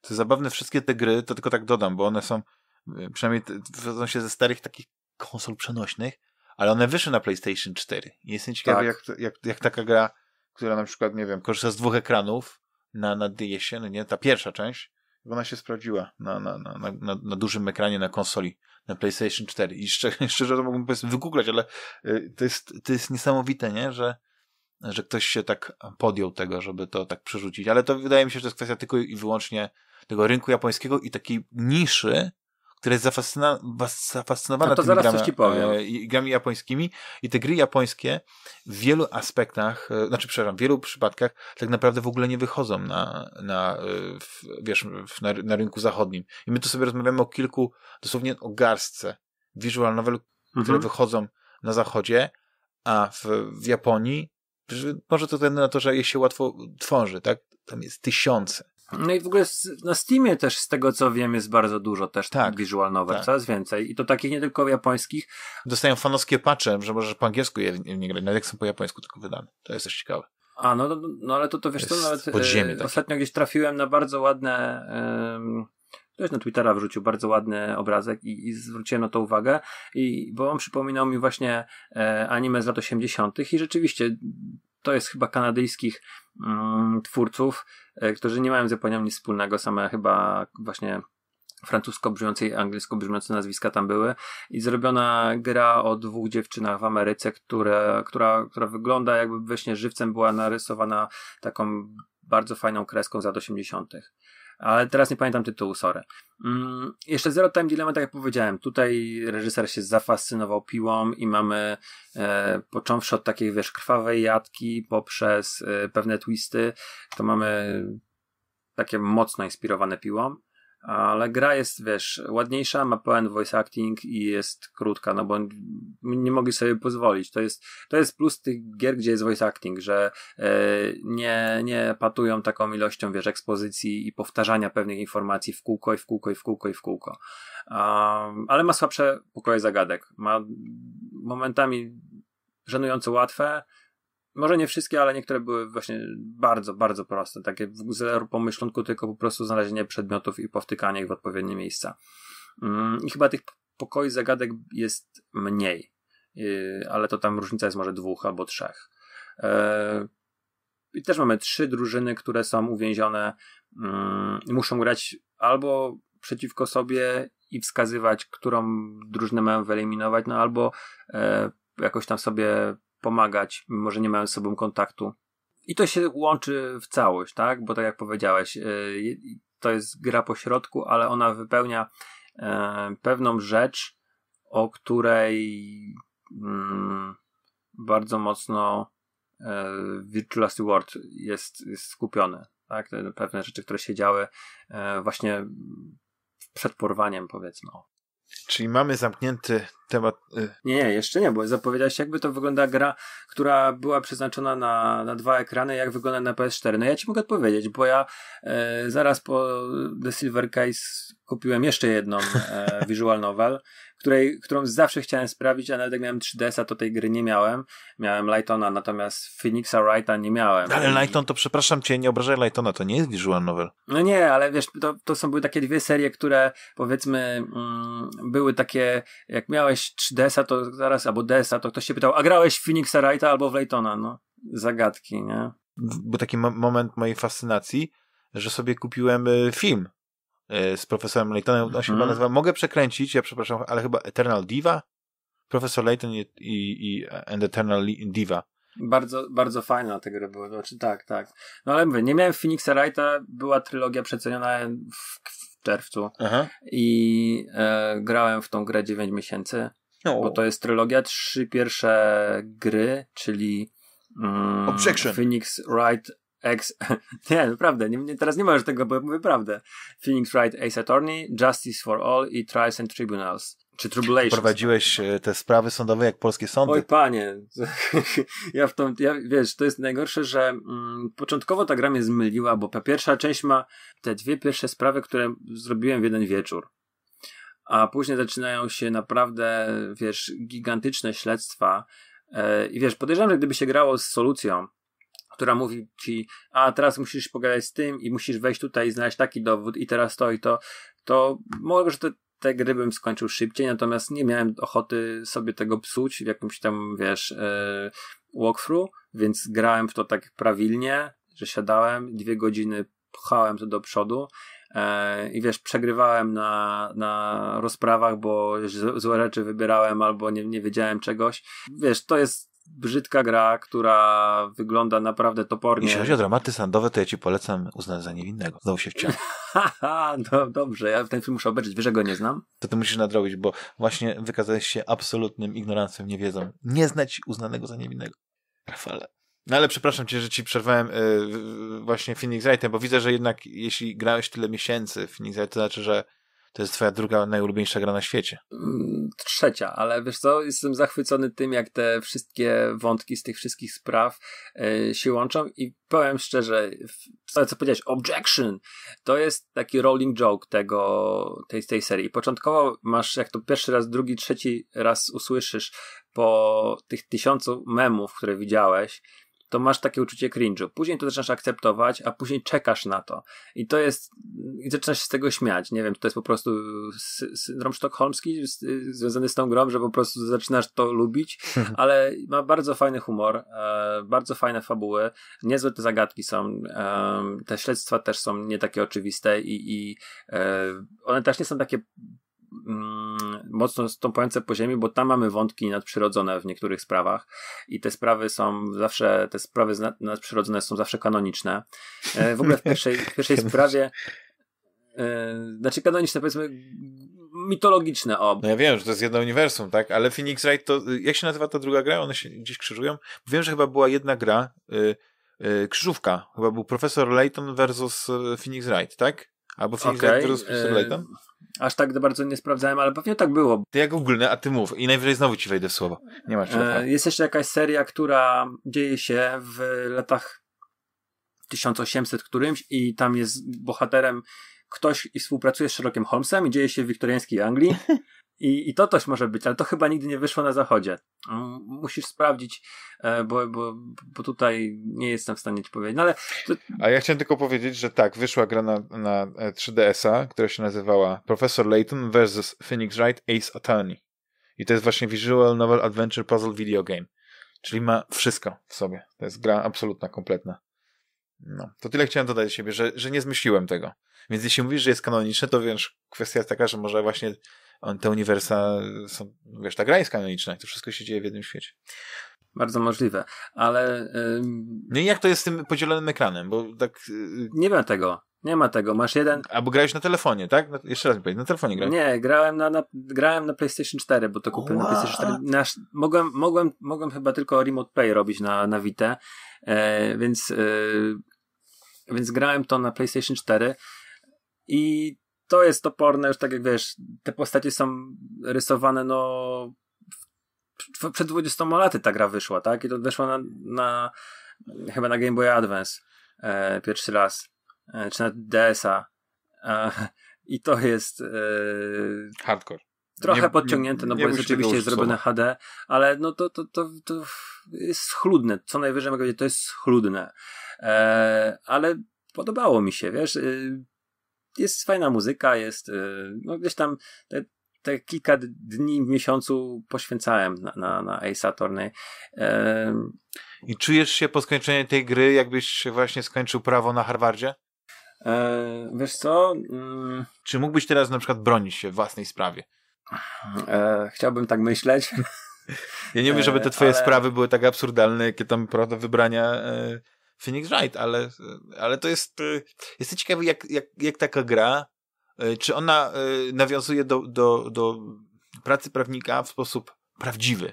Czyli... Żaden. No właśnie. Nie, to jest sposób, sposób żaden. No um... A e, uznany za niewinnego możesz przeczytać i prawdę, i mógłbyś nawet studia skończyć. Mówię ci, wziąć egzamin adwokacki i zdał. Taka to jest dobra książka. Ja miałem parę razy okazję być na sali e, jako świadek, czy jako strona pokrzywdzona i nie wiem jak to jest, bo wiesz, bo możesz się czuć e, e, najlepiej na świecie e, przed, tym, przed tym wejściem na salę. Nie wiem, czy ty miałeś okazję. Jeżeli nie, to nie, nie polecam. E, I jak tam stajesz, to no jest nie, nie, nie, jest, jest jakaś... Chyba, że sędziną jest nie Anna Maria Wesołowska. Nie, wiesz, chodzi, chodzi, chodzi o to, że yy, dochodzi do ciebie, że yy, no to co, co, co ty tam robisz, to jest coś bardzo ważnego, tak, że to, że nie mówisz o kłamaniu i tak dalej, ale sama powaga chwili przynajmniej dla mnie, mimo że tam miałem pierwszy raz chyba za 19-18 lat, yy, za drugim razem kurczę, nie wiem, z 30 e, i to, to, to, to, za każdym razem na mnie działało jakoś, nie wiem, totalnie zamieniam się w subsoli i e, e, e, e zaczynam się jąkać, chociaż sam dobrze słyszysz i słuchacze też, też mi się zdarza jąkać, kiedy mi brakuje słów. Albo mnie wyprowadzasz tutaj, zbijasz z tropu. A, bo żeby nie było tak, że nic nie wnoszę do tego podcastu, chociaż wnoszę jakiś chaos. E. bo niestety nie grałem w te, te visual novel, bo, wiem, że ja bardzo chętnie słucham o tym, bo to jest, ja uwielbiam, to, ja jestem na etapie, już kiedyś mówiłem, że ja w grach e, teraz, dla mnie najważniejsza jest fabuła, jeśli mam się wciągnąć w grę. Ale z drugiej strony mechanika też jest istotna, bo ja na przykład uwielbiam gry, wiesz, bo, bo gra jeszcze nierówna, no to, to, to nie, nie da się, prawda, w jednym, jednym krótkim takim opisem opowiedzieć o wszystkich grach wideo, ale jest tak, że lubię gry, które mnie relaksują i to przeważnie są jakieś wyścigi samochodowe, nawet taki Code Vein. E, to nie jest gra, w której ja muszę e, się gdzieś zastanawiać, co ja robię tak Ja po prostu dla przyjemności sobie tam lubię. No to jakbym Tetrisa, prawda, grał. Ale są gry, gdzie ta fabuła jest dla mnie istotna i jeśli na przykład, nie wiem, gra stawia na fabułę, a ta fabuła jest miałka, albo beznadziejna, albo przyciągnięta, źle przeprowadzona, że nawet jeśli jest świetny pomysł, ale jest źle podany, to się odbijam bardzo szybko. I na przykład e, Cyberpunk, no tak wspomnę o Cyberpunku, bo już cały odcinek nic żeśmy nie mówili, to Cyberpunk jest, e, jest grą, która ma bardzo dobrą fabułę i to mnie w tej grze trzymało. I tyle właśnie o Cyberpunku 2077 w tym odcinku będzie. Ja jeszcze ci powiem o fabule. Mam takie wrażenie, że dla mnie kiedyś, to przynajmniej dla mnie takim wyznacznikiem było gry, to była fabuła. E, teraz nie do końca, teraz lubię jakieś takie dziwne gimiki w mechanice, ale mm, dla mnie y, relaksem był eskapizm i więc y, zawsze, czyli Room wchodzę w świat książki, wchodzę w świat serialu, wchodzę w świat gry i ma dobrą fabułę i, i zawsze mi się wydawało, że to jest super ważne. Natomiast ostatnio zauważyłem, że e, irytują mnie gry, które mają albo to chodzi o źle podanie tej fabuły, bo nie mogę powiedzieć, że mają fabułę, tylko fabułę, bo to grałem właśnie, powiedziałem, że grałem ostatnie 9 miesięcy w e, trzy gry o prawniku, gdzie się tylko czyta. Ale nie wiem, ostatnio miałem taką sytuację, że sprawdziłem Vambrace Cold Soul. Ta gra wypadała chyba w zeszłym tygodniu z Game Passa i była chyba ostatni dzień. Nie, to nie było ostatni tygodniu, tylko to było dwa tygodnie temu, to było ostatnie dni lutego. I sprawdziłem, co to jest. Okazało się, że to był klon Darkest Dungeon. Grałeś w Darkest Dungeon? Grałem w klon Darkest Dungeon y, Powstanie Warszawskie, czy Warsaw chyba się nazywa. No Więc to wiem o co pan o czym powinien być odznakę jakąś, nie wiem, dzielny pacjent albo coś w tym rodzaju. Też grałem w Warsaw. Tragiczna ta gra była. Szkoda po prostu, że gra o tym temacie, no niestety nie, nie, no nie będzie jakimś tam, nie rozsławi Warszawy, prawda, i, i, mhm. i naszych dzielnych powstańców. No. Żeby słuchaczom nakreślić, bo może nie, ktoś nie wie, y, Darkest Dungeon to był roguelike, gdzie mieliśmy, przyjeżdżaliśmy do posiadłości swojego y, stryja, osiadaliśmy w miasteczku i wysyłaliśmy do naszego domostwa i okolic tego domostwa drużynę czterech śmiałków, którzy musieli tam wykonać różne zadania i przejść przez loch, zabić bossa na końcu. E, oni to była bardzo ciężka gra, bo oni dostawali konkretne baty i psychiczne i fizyczne w tych y, dungeonach. Mm, wychodzili pełni jakichś tam, wiesz, chorób y, i różnych dziwnych e, przypadłości. Musieliśmy ich leczyć, a to w lazarecie, a to musieli się tam biczować w sali pokutnej, a to się modlili, a to y, szli do baru i wydawali pieniądze w szulerni, albo chlali, albo e, ściągaliśmy diligencem kolejnych i wysyłaliśmy, i nabijali, nabijali, level aż do szóstego, żeby wejść do naszej posiadłości i tam się zmierzyć z pradawnym złem. Cała gra była utrzymana w konwencji Lovecraftowskiej, e, nawet dodatki były po prostu, może jeden był nie, bo jeden był wampiryczny, ale drugi był e, bardzo mocno inspirowany na kolorze z przestworzy. I gra miała bardzo charakterystyczny styl. Była 2D rysowana, nasze postacie były po lewej stronie, postaci przeciwników były po prawej stronie. Wymienialiśmy się ciosami w walce turowej. Mm, kreska przypominała taki nurt, który zapoczątkował Mike Magnola, E, ten Kanadyjczyk rysuje Hellboya, on ma bardzo charakterystyczną kreskę. E, wydawnictwo Dark Horse miało kilka komiksów, Dużo które wyglądały czerni. podobnie. Bardzo lubi czerni. Dużo czerni, tak. Chyba był taki Outlander, taki komiks e, o, o gdzieś tam siedział w Skandynawii, też bardzo podobnej grafice. No, kilku przynajmniej e, odmieniec Polski o kilku, kilku artystów bardzo podobną kreską rysuje i właśnie Darkest Dungeon był w takiej stylistyce. I to była super gra, bo miała narratora, wszystko dowiadywaliśmy się z kilku dosłownie zdań, była czystą nieuczciwą, znaczy czystą rozrywką, która była wielce nieuczciwa. Ta gra była zepsuta, jeżeli chodzi o nieuczciwość yy, sztucznej inteligencji. Później wprowadzili łatwiejszy poziom trudności w którejś tam aktualizacji. To się zaczęło przynajmniej dla mnie e, grywalne na tym poziomie, że nie frustrowało. Bo na przykład e, w Darkest Dungeon było tak, że przechodziłem perfekcyjnie cały dungeon, e, a na koniec i tak dostawałem po trzy negatywne cechy wylosowały moje postaci. Ale to już tam e, i wiesz, musiałem Chamstwo. no, wrzucać znowu do, do, tych, e, do tych pomieszczeń, gdzie im zdejmowali te Mm, ten, te buffy. E, natomiast Vambrace Cold Soul po krótkim e, zainstalowałem, żeby sprawdzić. Byłem przyszykowany na to, że jeżeli gra mi się nie spodoba, to ja ją sobie kupię na PlayStation, bo była akurat w promocji, za tam 30 zł kosztowała. A przegapiłem ją, zagapiowe się płaci, więc e, wiedziałem, że nie skończę tego w weekend. I po krótkim tutorialu postaci, którymi kierujemy w tutorialu, znajdują dziewczynę bardzo ładną. Jeżeli sobie wpiszecie e, Evelia Lyric, to jest główna bohaterka, mm, no to, by, to jest taka postać, która tobie się spodoba na pewno z wyglądu. E, tak? Ona jest główną, tak, tak, wpisz sobie. Dobrze mnie znasz. Evelia Lyric. Więc dostajemy właśnie etapy już, gdzie gramy nią, jest, jest, jest, jest jedną e, obowiązkową postacią w drużynie, bo, bo, bo, sama rozgrywka jest bardzo podobna do Darkest Dungeon, ale zaczynamy chodzić po hubie. Mamy hub i masę czytania i masę kartek do dziennika swojego dziadka, który tam wysłał w, w ostatniej woli nas do tego miejsca e, i masakrycznie dużo ludzi, którzy chcą nam coś powiedzieć i masę dialogów i e, masę raz e, i coraz większą encyklopedię do czytania i minęła chyba godzina albo półtorej, a ja jeszcze nie wyszedłem na pierwszą w ogóle e, walkę na zewnątrz. E, I już byłem naprawdę wkurzony, bo wiesz, może to chodzi o to, że ta gra... Zegar tyka, chcesz zobaczyć, co to za gra wylatuje, to Bo lubię fabułę, no. ale, ale lubię fabułę, ale lubię jak mnie gra szanuje, mój czas szanuje, ja naprawdę tego czasu nie mam aż tak dużo. Znaczy, to się może wydawać, że mam dużo. Chyba, jak... jest to visual novel. No właśnie, może się komuś wydawać, że wiesz, że chłopiec, ty właśnie mówisz, że 40 godzin upmoczyłeś w Sentinelach, ale nie, naprawdę, ja tą grę miałem rozłożoną na, na dwa miesiące czy nam to, to na kilkadziesiąt dni, więc y, tutaj miałem akurat trzy godziny do zagrania i czy cztery, poświęciłem tej grze cztery i ja ją nie polecam. To znaczy, e, to jest gorszy klon, naprawdę dużo, dużo gorszy niż, niż Darkest Dungeon. Ładnie to wygląda, jesteśmy w jakiejś krainie podziemnej, skutej mrozem. Ale cieszę się, że akurat y, mówisz o niej, bo ona jest też w klimacie anime, to chciałem powiedzieć. Tak Aha. się zastanawiałem, dlaczego nie mówisz, y, y, skoro, skoro ci się nie podobała, ale teraz zobaczyłem właśnie obrazki, zobaczyłem Ewelię Lyric i y, bardzo sympatyczna dziewczyna. Tak. Mogłaby występować oko... w Code Vein. Tak. E, dokładnie. Niebieska, Znaczy, drugie ona zielone, się tak? może komuś spodobać, bo e, ja podejrzewam, że tam jest bardzo później może być bardzo ciekawa fabuła, bo tego lore mamy Ale dużo charakter i jaki ma? To ja mówię o charakterze, E. nie mówię o wyglądzie. bardzo sympatyczna, bardzo sympatyczna jest. Super. Sympatyczna postać. E, dlatego wiem, że ci spodoba.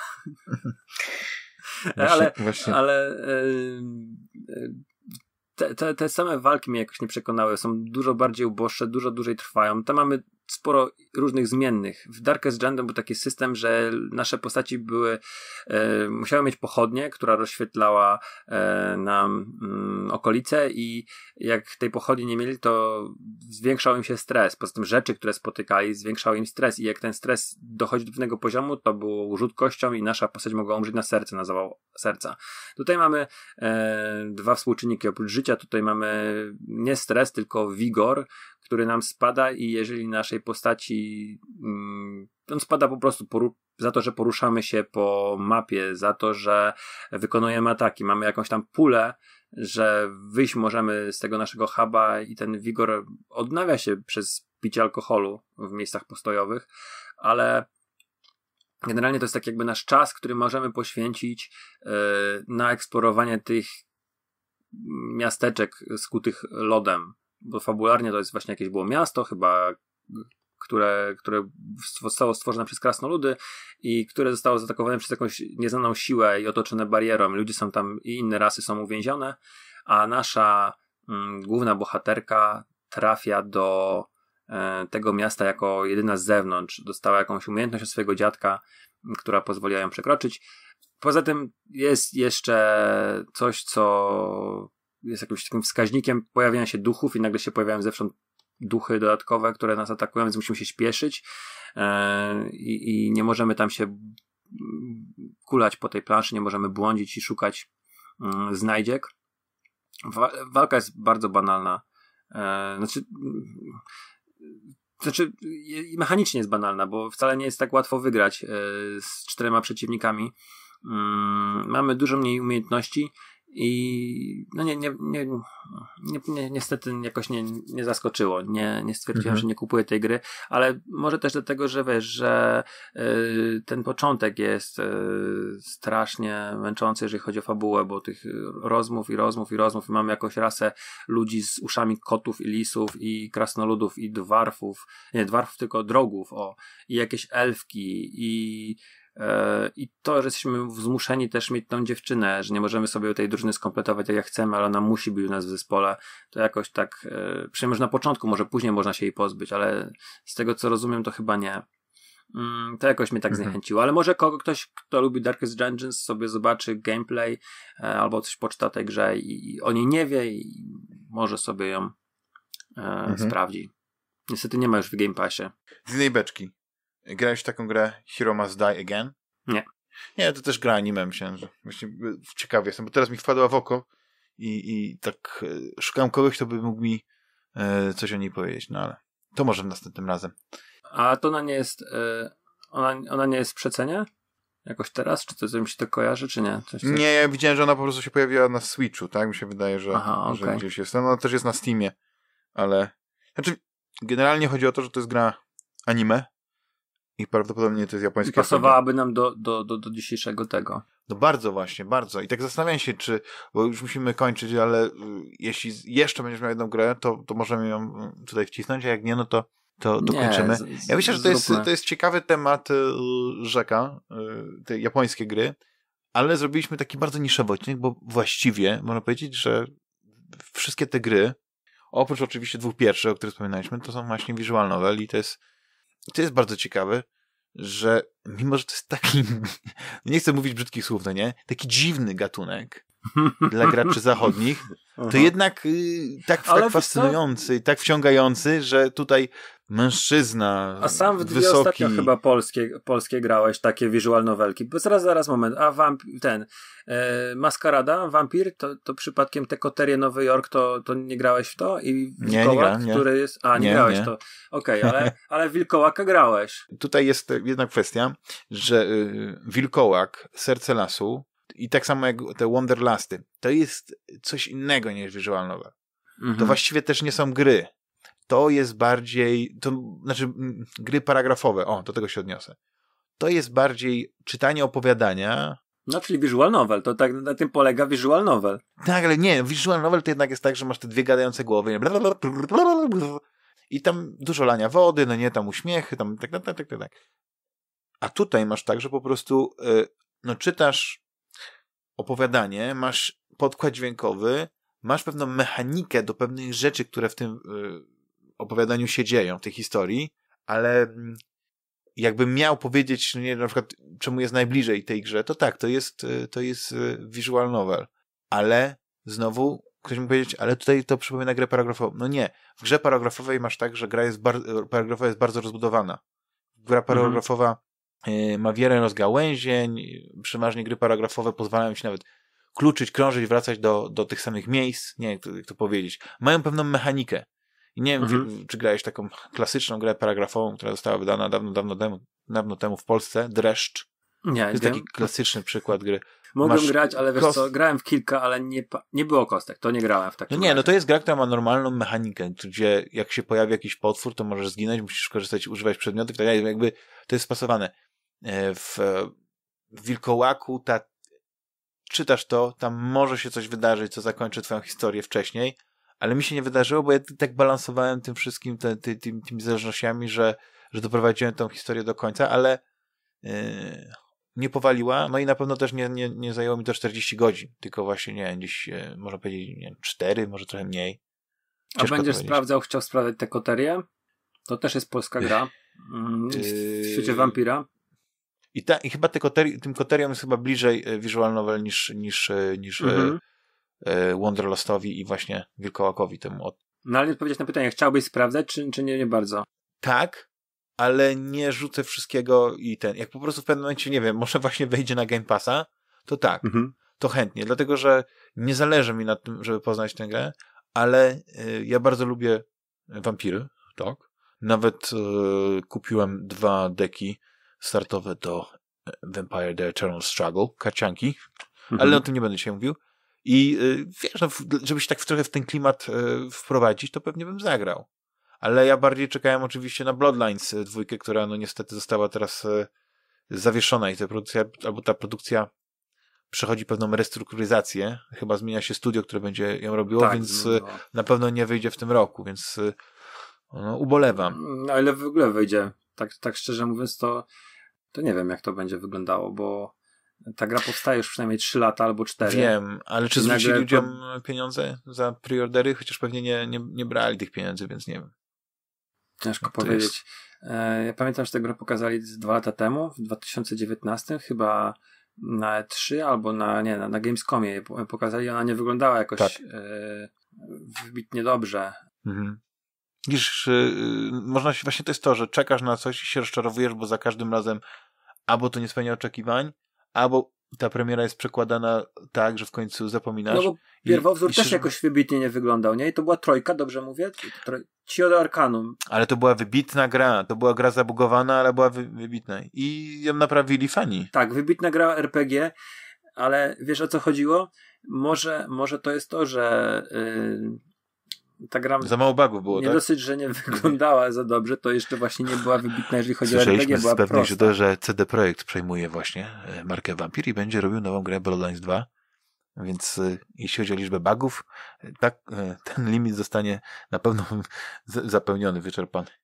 Ale nie wiem, no tak. Chciałem tylko powiedzieć, że jest jedna rzecz w sumie, na jaką czekam. Jak, i, i to nie jest podpowiedź, film.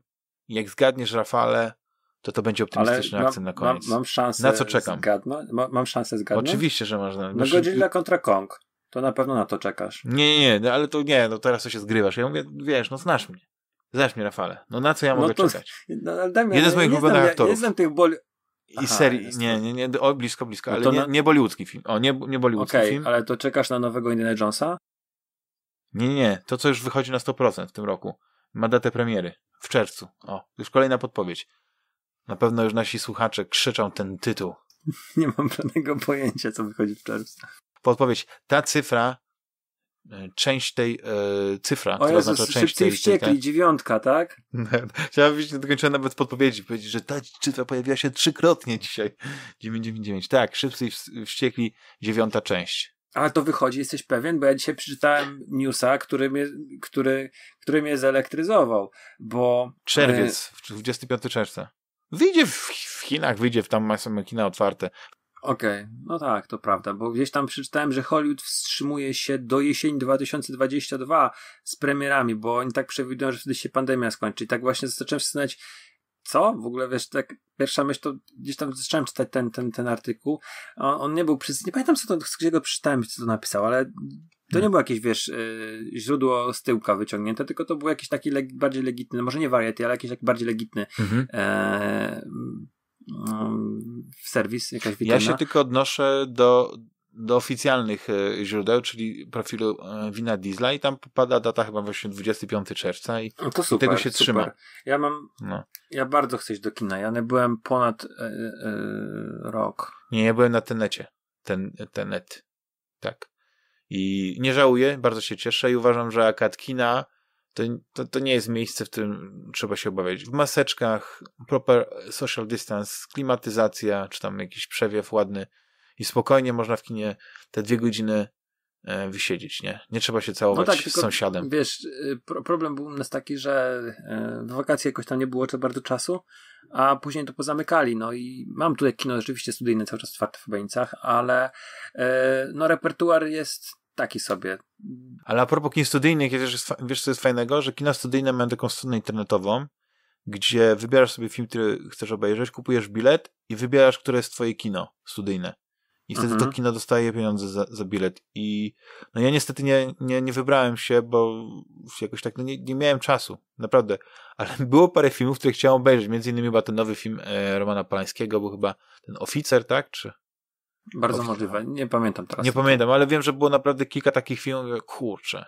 I, tylko, że no, kwestia była taka, że musiałem kombinować, bo musiałem właśnie yy, przez VPN, nie? Bo to jest, bo nie kupisz biletu normalnie, bo jest ograniczenie yy, regionalne, ale widzisz, no ja, ja byłem na, na, znaczy obejrzałem teraz e, film, który, który tak wszyscy, na który tak wszyscy czekali i być może efekt byłby inny, jakby on był w kinie, a jednak nie był.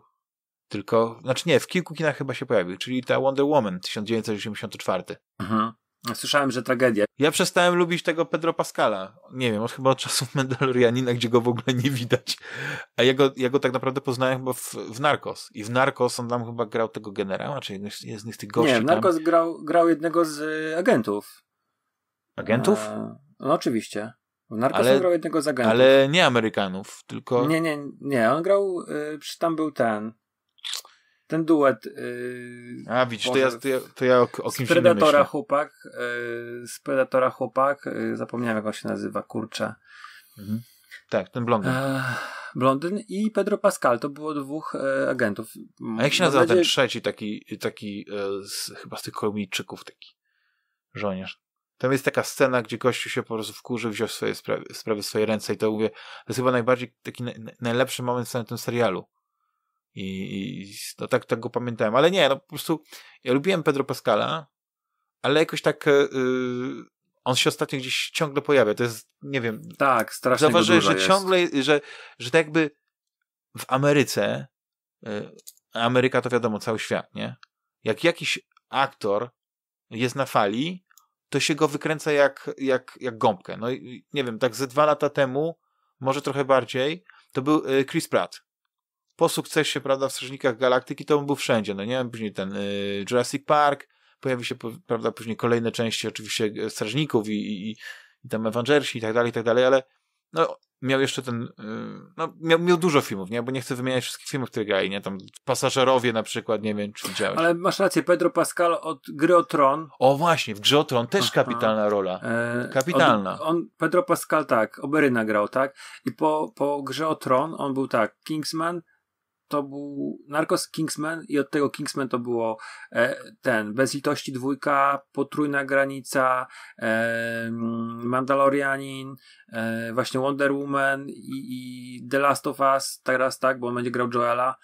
Dla mnie za dużo trochę jest. Znaczy wiesz, no, to jak tak przeczytałeś, to może nie było tak dużo, jak się wydaje. Nie, tylko, ale masz tak... rację. Ale trafia akurat w filmy, które powiedzmy gdzieś tam w, Tak. są w mojej... Bo Jedy- tam jeszcze coś po drodze na pewno było, a teraz wymieniłem tak... Jedyne filmy, które są kręcone w tym, y, w, podczas pandemii, to albo są filmy Wegi, albo filmy z Pedro Pascal. I to jest w ogóle jakaś masakra. Ale nie, y, ja, ja, ja jedynie, y, co mogę powiedzieć, to mnie podoba mi się po prostu kreacja Pedro Pascala. I to nie jest wina jego jako aktora, tylko to jest y, tej postaci, bo nie wiem, czy, czy kojarzysz y, chociaż troszeczkę fabułę tego Nic nie 1984. wiem, nic nie wiem, tylko wiem, widziałem em, On No gra takiego prostu- gościa, który, y, który zamienia rzeczy w złoto, tak? Dobrze rozumiem? Tak, chodzi mi o to, jak on wygląda. Jest w ogóle zrobiony na blond. To są lata też y, 80., no to ta inna trochę moda, więc włosy ma zaczesane tak trochę w stylu włoskim, ale jakoś tak z małą ilością y, tej, y, nie żelatyny, tylko to się mówi? Nie terpentyny. Brylantyna. Brylantyny. Brylantyna. Tak, brylantyny. No ma, nie ma tej brylantyny, więc to jakoś tak dziwnie wygląda. W ogóle nie, nie pasuje mi, mi to, ale, ale gra też to w miarę okej, nie? No, zresztą Ja widziałem scenę walki z, z tą gepardzicą, czy to, tak? Tą, tą, e, i, I ja ją widziałem mm, gdzieś w jakimś e, ripie, na, po prostu były 2-3 minuty tego i zobaczyłem, jak to jest fatalnie nakręcone i straciłem mm, nie wiem, jakoś tak ochotę na, na, na, na oglądanie tego, e, ale też prawda, że nie grało to, to u mnie w kinie, e, a jeszcze no czekam, jak to chyba na HBO się pojawiło, ale e, czekam, jak się pojawi. Challenge Maxa. E, tak. Nie, w Go się jeszcze nie pojawiło? Okej. Tak planuję wykupić e, HBO w momencie, kiedy już będzie ta liga czterogodzinna Zaka Snydera. Ten jego Też, cut. też. I to mnie też. trochę interesuje. No, ale chciałem cię zapytać, czy tobie się podobali strażnicy z, yy, Snydera, czy nie? I Zaka tak i Snydera. nie. I tak Bo i mi nie. się podobały. E, Podobali, nie wiem, to powiedzieć. Wiesz, to jest bardzo... Może nie wersja Ultimate, bo wersja Ultimate w porównaniu do reżyserskiej różni się tym, że ma ten komiks o piratach Aha. Nie A widziałem tej wersji. on jest jakby do obejrzenia w tym, w wersji powiedzmy na DVD możesz sobie czy na Blu-ray go obejrzeć osobno, ale wersja dłuższa filmu Strażnicy świetna. Ja w ogóle e, tam pewne rzeczy, które, w którym się oczywiście różni e, film od komiksu, bo już komiks był w, innych, w innym e, czasie kręcony, tak? To jednak, e, wiesz, można powiedzieć, że, no, że musieli troszeczkę zmienić, żeby go uspółcześnić. Jednocześnie e, dla mnie jeden z, z najlepszych filmów superbohaterskich. Znaczy, I- powiem tak, ja ten film bardzo lubiłem do momentu, kiedy e, był taki, wiesz, wchodził nie serial na spoiluj, nie HBO. spoiluj. A, serial tak. Serial jest I ja zrobiłem tak, że przeczytałem sobie po tym serialu komiks jeszcze i później jeszcze obejrzałem film i mam pewne zarzuty do tego filmu. Ale no nie chcę spoilerować. On jest wizualnie i audiowizualnie też. Audio tam jest muzyka, Tak. robi kapitalną robotę, jest piękny, fajny, e, bardzo wierny w wielu miejscach. Wiesz, co, muzyka w- na początku, ta czołówki, cały ta, ten montaż, nie, z, z, Mhm. z Dylana Time is a Changing, rewelacja. To jest, wiesz, ja to, ja to oglądam tą czołówkę i, i się rozpływam. Ale Snyder nie zrozumiał tego, tej końcówki nie zrozumiał, moim zdaniem.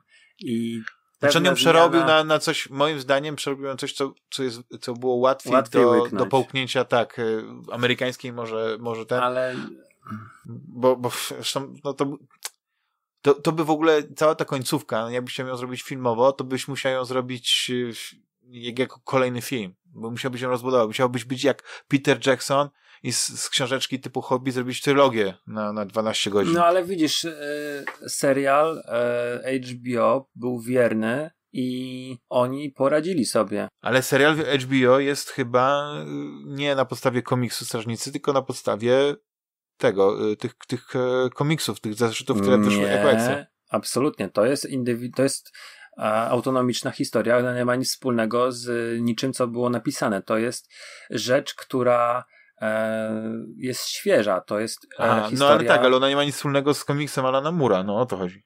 Ma. To jest bezpośrednia kontynuacja. Znaczy, może nie bezpośrednia, ale to jest kontynuacja. Tam jest to, co się stało w, i to jest pokazane. To jest dosłownie po, y, powiedzmy, po wydarzeniach, to, to, to się dzieje godzina po strefie zero i mamy pokazane dokładnie to, co się stało w Nowym Jorku.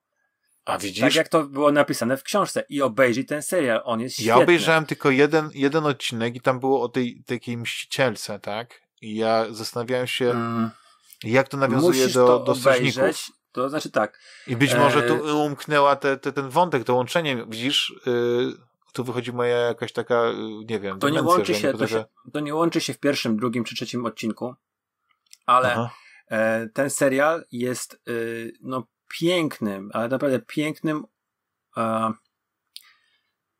hołdem e, tak. wielu, wielu rzeczy, które były um, u mura, na przykład pierwszym strażnikiem, w ogóle jest cały jeden odcinek, gdzie masz o pierwszych strażnikach, nie? E, poświęcony, dzieje się w latach tam um, międzywojnia, tak? Dobrze mówię? I, i zaczyna się w ogóle, wiesz, e, znaczy on, to, to, jest, to jest problem z tego, tego serialu. On się może wielu osobom nie podobać, bo jest bardzo przesiągnięty pewnymi trendami politycznymi obecnymi. i myślowymi. Tak. Obecnymi. Tak. Zaczyna się od masakry w Oklahomie, tak? Dobrze tak. mówię. I w Oklahomie nie, nie, w Tucson. No nie, nie, ale to... No nieważne, tak, w każdym razie tak. mamy... Spoilers. Nie, no to jest pierwsze 30 sekund, to, to, a to się już stało w latach 20., więc no to nie jest żaden spoiler, to nie, jest nie, historia. To jest, no, rozumiem, tak. No, ale może nie wszyscy Natomiast... lubią e, słuchać o historii w formie podcastu. Podcastu. Przepraszamy. E... Wybacz Dan, Dan Carlin, czy jak się nazywa. E... Hardcore tak, History. Ale myślę, że nie zabierzemy mu słuchaczy nawet tym, tym moim wstrętem. Natomiast e, to może się nie spodobać, ale sam serial jest świetny. Naprawdę to jest jedna rzecz, którą, którą strasznie ciepło wspominam, tak z 2019 roku i aż to jest po prostu szok, że to już tyle, tyle czasu, upłynęło, tak, bo e, te seriale, wiesz, nawet te takie limitowane serie, był taki moment, że mnie strasznie rozczarowywały i miałem jakieś tam swoje ulubione, jasne, i, tylko że do tego też przestałem oglądać, bo mi się już nie chciało. E, jeszcze szkoda mi czasu, ale też mi się nie chciało angażować w serial, który mnie rozczarowywał. A Strażnicy od HBO są rzeczą, która e, wynagradza widza. I to jest y, naprawdę fajne, że śledzisz ten serial i łapiesz e, nawiązania, łapiesz te, te, te sznureczki, które, które się tam e, gdzieś mm, łączą, no to jest świetne, naprawdę. No to tym optymistycznym akcentem i tą rekomendacją yy, no przekroczyliśmy jednak ten, te 90% miało być o grach. Wydaje mi się, że jakieś 87% było.